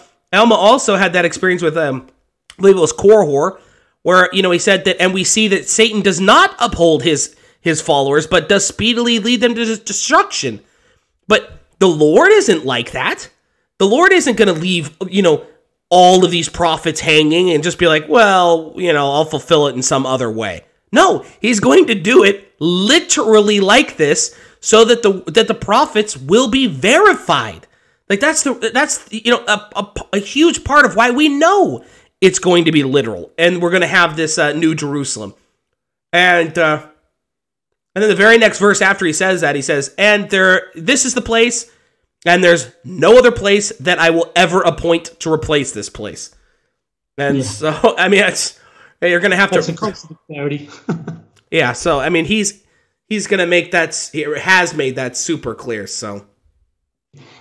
And I to do like, um, for me anyway, what I found, and I, I, I feel like I'm fairly average um, person. I don't think I'm anyway. So, I've heard that for a while and I've read that for a while and I've understood and I believed, but I now believe. Does that make sense? I believed it before, but now I really believe, and I and I I, I actually know that it's going to happen, and, and I think we we we need to get to that point of knowing it's going to happen, and not be surprised if tomorrow the call comes. That we shouldn't be surprised. One of the things we get through a lot of movies and a lot of stuff in the past is, you know, these heroes they they just are surprised that uh, Skywalker shot and he got down the hole, and oh yeah, this was good. Well, we won't be surprised when we get there. Those who actually are part of redeeming Zion or whatever the glorious thing will be won't be surprised because the Lord, they will have been asking, the Lord will prepare them, and it won't be a shock. It'll be a shock for those who went, oh, yeah, yeah, I'll get there later. Uh, someone else will do it they'll be right because someone else will do it. That'll be a shock when the Lord bears his arm. That's that's a great statement. All right, so we have a qu- question here from Reba who says, "Do you think when people hear um, prepare to redeem Zion that they don't know how to go about doing that?" Now, no. personally, I think that most members don't even know what he's saying. So I don't think that they understand what the word Zion means. I think that they think it means people's hearts, it means all sorts of kooky things. I don't think they even know what it is that he's saying, and they're too lazy to go figure it out. I, I don't think that most people here prepare to redeem Zion, uh, to redeem Zion, and they know that President Benson is talking about um, uh, redeeming Jackson County and building the New Jerusalem. I don't. I, I, re- I don't believe that majority of members even know that that's what he said to then question, well, how do I go about doing it? I would love it if the majority of members heard that and said, well, how do I go about doing that? I would love that. But I'll tell you this, Reba, from the last conference where I said that that that I, I was frustrated sometimes with people's talks because a lot of times they would talk about a lot of stuff, but they wouldn't actually say, okay, how do you want us to go about doing these things? And people got upset at me for even asking to how to go about doing those things. Like, oh, you you're, you're a Pharisee, right? We're, we're not supposed to be told how to do things. We're supposed to figure it all out ourselves. And so I would I would personally love it if people came away from that statement, brothers and sisters, we it is our responsibility. We need to, we have to prepare to redeem Zion. And they went, what does that mean? How do I do that? You know, what do I need to do to do that? You know, I would love that. But most members, they sit there and it's it's it's a spiritual feel good thing where they just sit there and go, mm, yeah, that felt good. Mm, the light of Christ. I feel this warm tingly in, in, in my my belly, and then they don't do anything. They just go to sleep the next six months. They don't they don't want to know what that is, and they they don't uh, they don't research it. And then when somebody like me comes out and they says, "Hey, do you want to know what this means?" They get upset. And so uh, I, I, don't I don't see the majority of people just confused on that. I think that, and it's so clear that anybody you can you can ask the two brothers about this. Anybody who actually asked that question who didn't know what does that mean? It, it doesn't take long to figure it out. Like you're gonna the Lord will lead you to somebody like me. The Lord will lead you to to the Doctrine and Covenants student manual. The Lord will quickly lead you to places where you'll go, oh, I get it. He'll, if you actually ask those questions and, and want to know, uh, I I have not found somebody who's like I've I've asked this question faithfully for 30 years and I and I haven't gotten it. Like that that is one of those questions that I've had people and, and by the way Joseph's one of them who say I prayed Lord and I said I just said uh, and, and, you know and I don't want to throw her under the bus but I know Antonio is another example and I, there's a ton of examples I can give where they prayed and said Lord you know lead me to where this this further light knowledge is and then boom, they stumbled across my channel the next day. And so, you know, it's it's if you if if members are really thirsting after that knowledge uh, and they're praying about it, I know that the Lord is going to give them that uh, uh, fast because th- that is super crucial to why we're in the church right now. And so, if you want, and I, you can also check out the references that uh, President Benson provided in that talk. Like, you know, so um, yeah. So to answer your question, I don't see a lot of members just being confused at what that means and and not knowing the answer to that. I see most members just apathetically just, you know, feeling good about the talk and then never thinking about it again. And it's and it's different to going, oh, I'd like to know. But as Micah said, uh, I actually got to the point. I've been I studied for a long time, and I wanted to know a lot for a while. But I got to the point where I said, Heavenly Father, I give up. I need to see a vision. You need to. I need. I, I want this. You know that that example of. Uh, do you want it as much as you a, a drowning man wants to get out of, out of the water? You gotta want it. And then when he wants, when I wanted it, uh, in my Google search, come the ten. Uh, what was it? The, the ten. Uh, the, the lost. Uh, the lost ten. Lost ten tribes are coming. Thank you. That was the first one I hit. Bang! That was it. I was off, and then I I, uh, I worked for myself, so I didn't do much work that week. But for for the next two weeks, I listened to every talk that Micah had, just absorbed, couldn't get enough of it. But and and I don't I use the word stumble there. Heavenly Father put that in my screen for me because I asked. So I totally agree with you, Micah. There's no doubt that the Lord will lead us when we ask the question. Uh, and that ties back into what you were saying earlier on about the apostles. Why didn't they get to know about Americas? Because they didn't ask. Yeah. God asked. And the Lord will tell us what to ask when we ask. Yes. If we keep asking, He'll tell us, okay, you need to ask this and this. But if you're not asking, then it, it goes darker and darker. The more you go into the light, the more light you will get. And there are the attitude of asking. So and there are some things like you know, and I Ashley and I have experienced this. Lord, please bless us with a child. And there are some things that that what you're asking the Lord, the Lord can't give you at that time. There are mm-hmm. Lord, please, you know, remove me from Liberty Jail, you know, right now. And you're, you're maybe not going to get that answer, right? But there are certain things, like Joseph Smith uh, said in the quote that Joseph read tonight, that more than anything, you you are obligated, uh, you know, from a loving heavenly Father to have these questions answered, right? Like, why are you here?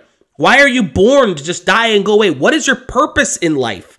Like, these are questions that you don't have to wait long to get the answers to because there's no reason for the Lord not to give you that if you have desire, if you have real intent, if you have sincerity, if you have faith in Christ. If you there's no reason that he won't give you that information.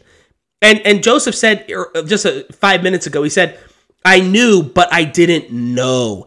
And here and that was the other quote that Joseph shared today. If you could gaze into heaven 5 minutes, you would know more than if from everything written in the books. And see, here's the thing is that a lot of people think, oh, that must be a vision. You don't have to gaze into heaven m- merely with mortal eyes. There are there are ways to gaze into heaven that hit your heart. And that's absolutely right. There there are things that where you can read a scripture read every word that you know is written about the redemption of Zion.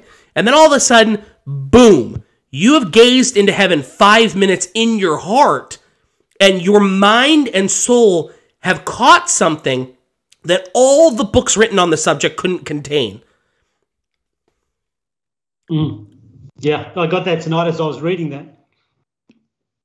I didn't understand that before. That is so cool. And and also too with the questions you ask, you just said sometimes the Lord won't give it. And I I often now ask if I have a thought that I want to ask a question, I will ask, is it okay to ask this question? Especially yes. if I don't get an answer straight away and then he'll let you know whether you should be asking it right then and there or not. maybe it's something you need to leave for a while, or maybe whatever, because he he gives us the experiences we need to have. Yes. Um, and multiple, and once again, there's another concert of clarity. You can find what Joseph just said in examples of a, a plethora of prophets that have gone to the Lord and said, "Lord, please don't get angry at me. You have commanded me to ask you, and so mm-hmm. so I'm going to ask you, right? And I'm going to ask you this question: Is this all right?" and the Lord will go, yay, nay. And uh, so, yeah, you can, ap- don't be afraid to go to the Lord and say, can I ask you this? He's not going to get mad at you. But, uh, you know, you need to be willing to listen to the answer. But, uh, but yeah, uh, yeah, that's exactly right. You have, you have that example over and over again uh, from prophets. Just don't go back three times. Yeah. With Martin. yeah. So can I, can I please ask you something? Yes. Can I do this? No. Okay, I'll be back in a week. yeah. yeah, don't don't be that kid. So um Aaron Allen says most memberships think the second coming is all a surprise. Could be tomorrow or 100 more years, and then the church builds Zion. Until then, do nothing and tolerate everyone. Yeah, that's exactly right. And it's once again, it's like I said earlier, and I'll say again and again. I don't know where they're getting that. And I'm not saying that facetiously. People always say, Micah, you're condescending, you're facetious. I'm not being facetious. I'm literally, I don't know what in the standard works you're reading to come to that conclusion. Like, I don't know what you're reading. It, it, we're, we're, we're reaching a point in time where it's like the wheat and the tares are becoming so divided that it's like, I don't understand you. Like, I don't, can, can you point to something in here? And it's like, oh, I don't even use the standard works, right? The standard works are pish posh. You know, I use my spirit meter entirely, and it's like, we can't communicate then, you know, because uh, the iron rod is the word of God. Like that was the primary song I grew up on, right? so, uh, but apparently none of that matters anymore. You know, it's like we make fun of these primary songs that the iron rod is the word of God. Eh, not important. Follow the prophet. Follow. The, Ah, not important. It's like, oh my yeah. goodness. It's a worry. Yeah, I had a uh, in my Sunday school class. I was really encouraging people to study, pray, and ask the Lord to reveal something new as you read the scriptures.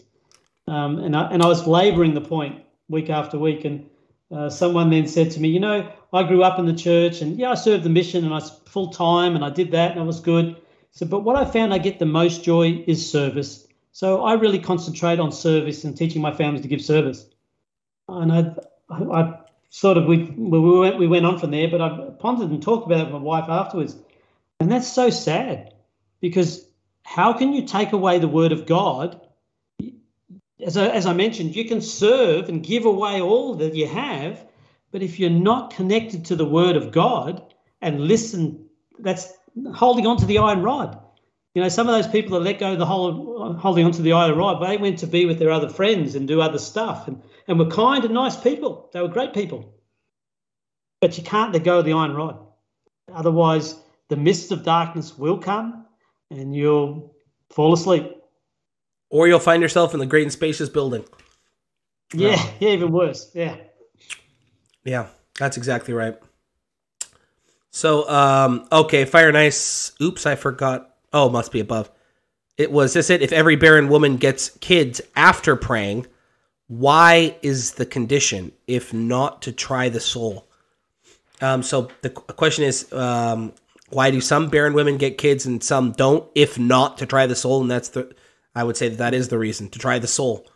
And um, you know, um, I think you answered it. I think it's spot on. It's to try the soul. And so yeah. Well, brothers and sisters, are there any more questions? This has been absolutely awesome. I I man, I cannot stress enough how much I have been ready for a very long time uh, for a group like this that that wants the redemption of Zion and the building of New Jerusalem. And um, I, I here here's when I say stuff that gets me in trouble. So here's why I say stuff that gets me in trouble. I, I would I would always ask the missionaries when they served in the area, and uh, I would ask them, okay, if Jesus Christ came to you while we were in this branch or this ward, and he said, okay, Elder Jones, you have to name five people in this branch that you or ward that you know are going to be in the celestial kingdom exalted. But if you get one of them wrong, you will lose your exaltation. Would you be able to easily come up with five answers that you'd feel comfortable with.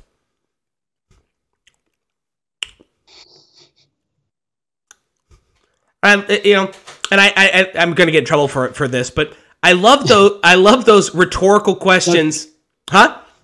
I said go for it. I, lo- I love it when you do this. Go on. Uh, so yeah, so I, lo- I love these rhetorical questions that makes people really actually think. You know, would you be willing to bet your exaltation on five members in your in your local ward or or branch that you would be willing to bet your exaltation on? My and, answer is no. Yeah, my my answer is no, and um and I and I would do this with missionaries everywhere. I did it, you know, on my mission. I would do it in Philadelphia. I, you know, I do it in I did it in Winnipeg. I do it in Thunder Bay. I did in Kenora. I did everywhere. And and and the purpose of that was we could all do better. We could that was the whole purpose of it. We can do better. And um and where am I getting at with this? I could pick five people from this group that I would feel comfortable with. And that is a, a, a miracle that I, I've got to witness that I frankly did not know that I would get to witness, and frankly, is something I didn't know that I needed as much as I needed. I, I, you know, there's when you go at things alone for so long, like I have in my life, and and being this guy, you know, the guy that everyone hates because you know he reads the scriptures too much and takes things too literal. Um, you just learn to, to go at things alone and you just think, okay, I just got to be the lone grape on the vine, you know, uh, and that's just my calling. That finally, when you get surrounded by people who are similar, who have the same passion and the same faith in Christ and the same willingness to throw all their sins on the altar and say, I'm done with this. All of a sudden, I realized how much I missed. I I missed that in my life and how how grateful I am to to to to know the people that I've come to know in this group, and not because these people are perfect, not because any of you are perfect, but because I know you're on the right path, and there's enough of you in here that I could pick five, and uh, uh that and that I could say I'd be willing to bet my exaltation that they're not going to be perfect, but they're going to do everything they can to get there. That that they are they're not Zion or bust is not just a fun catchphrase. That they're not going to go back to sleep that they are they are doing things that they've never done before. Some of these members have never done missionary work. They've never opened their mouth and now they're doing it. And they're finally doing it. And it's it's like do you realize how much of a miracle that really is? I've, I've served missions. I've been with missionaries all over the place. Do you not realize how hard it is to get members to do missionary work? It is so hard. And and members are doing it in this group. They're saying, "Wow, you know what? This is right. I need to open my mouth." And they're doing it. That we are witnessing miracles in this group that that I, I I don't know how many people in the group realize what what they're watching and how much of an anomaly it is. This is not the normality. This is not the normality. The normality is that most members would would have panic attacks and probably die of exertion trying to come up with five people in, in, their own ward or branch that they would be willing to bet their exaltation on. That that's the normality. Okay, you know that is not the what we're experiencing now with with uh, you know YouTube and social media that allows us to connect. I mean, for crying out loud, Perth, Australia, apparently has become a hotbed for you know people people and that's I'm not you know you're laughing. That's not a joke. I don't understand. Like there's like four or five families down there that are like bleeding New Jerusalem and Zion, and it's like this would never have happened before. Social no. social media has has created a platform that has enabled this to happen, just like it was said would happen in 3524. That those that feared the Lord began, they just started to meet together and talk often. Now think about that. That means that they mm-hmm. weren't meeting before. And and and if it was talking about just the church, will we meet with them every week? So so why is it that at this time that these people just started to meet?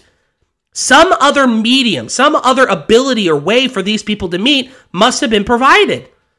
And and so, you know, and then something brought them together like COVID and so I, I, can I cannot express my gratitude for for that blessing that I didn't even know I wanted. I and that's the what we would call a tender mercy of the Lord. Something that was just that it's just so nice, but you didn't even know that you wanted it. It's just like when, when your spouse walks in with something that you you know like a hot hot cup of cocoa, you know, or if you're a man, a sandwich and a brew, and by brew I mean diet soda. But and it's just like wow, I didn't even know how much I wanted that sandwich. And uh, mm-hmm. thank you for that, that tender mercy, and how much meeting this group it was just a tender mercy for me. I didn't even know how much this could bless my life and change, you know, uh, my outlook and give me so much more hope. And um, and it makes everything ten times better because these other these things I've believed forever. But now I have it's not just oh I'll get to I'll get to meet people someday who are like me. It's like no, now I'll get to meet, you know, Aaron. I will get to meet Joseph. Like it's more than just you know, it's more than just uh, you know, faceless people. The, the, I know there's people and families and their children that I know. And um and that's just a blessing that I, I will be forever grateful for. So thank you all for um, blessing my life like that. And I'm sure many of us here would be saying exactly the same back at you. It's it's been fantastic. It's just wonderful. Um, and that's what Heavenly Father's doing, isn't it? Building Zion. We're going to get this because we're going to be on one heart, one mind. Oh, it's so lovely. Yeah, thank you. All right. Well, is there any more questions? Or are we going to wrap this up? I'll, I'll wait for like 10 seconds here. yeah. Yeah. We're getting to nearly four hours, so. Yeah, the tick down is here. Good on uh, you, Karen. Yeah, amen. And, and that's what I'm saying, that there are people like Jocelyn who says I was never a missionary, Karen who said that, you know, she never had the confidence to do missionary work that are now opening their mouth. And and I, you know, I don't want you to uh, not understand, Karen, how much of a miracle that is. You to you, they might be like, "Oh, now I have the courage and I'm doing some missionary work," but that is a miracle. It is not normal. You know, the the the chances of of of, and I do missionary work everywhere. That you would have a better chance of of finding Joseph Smith somewhere on this earth than find, finding finding a member who's been a member for more than let's say five years and and hasn't done any missionary work and then you know turning them around it just it doesn't happen you know the yeah. the longer a member is a member the more they just become cliquish and just kind of fall into the ranks of the church and then they, they don't ever reach out again. And so you know that is a miracle and and people are actually changing. And so i, I love that. Well brothers and sisters i love you. You you you give you give uh, hope and and strengthen me in my faith and and and and buoy me up, and I'm so grateful for that. Just want to thank Joseph and uh, Ryan and Kelly again for um, the the additions to the fireside. These will not would not be the same without you, and so uh, the guests as well as the people in the chat uh, uh, adding contributions and their thoughts and their questions. Brothers and sisters, I love you. God bless. Godspeed. Keep the faith, and uh, we'll talk again really soon. Joseph, did you have anything else you wanted to add before we close? Uh, thank you. You said it well. Talk to you next time. All right, guys. We love you. God bless. We'll talk soon. Zion or bust. Zion or bust.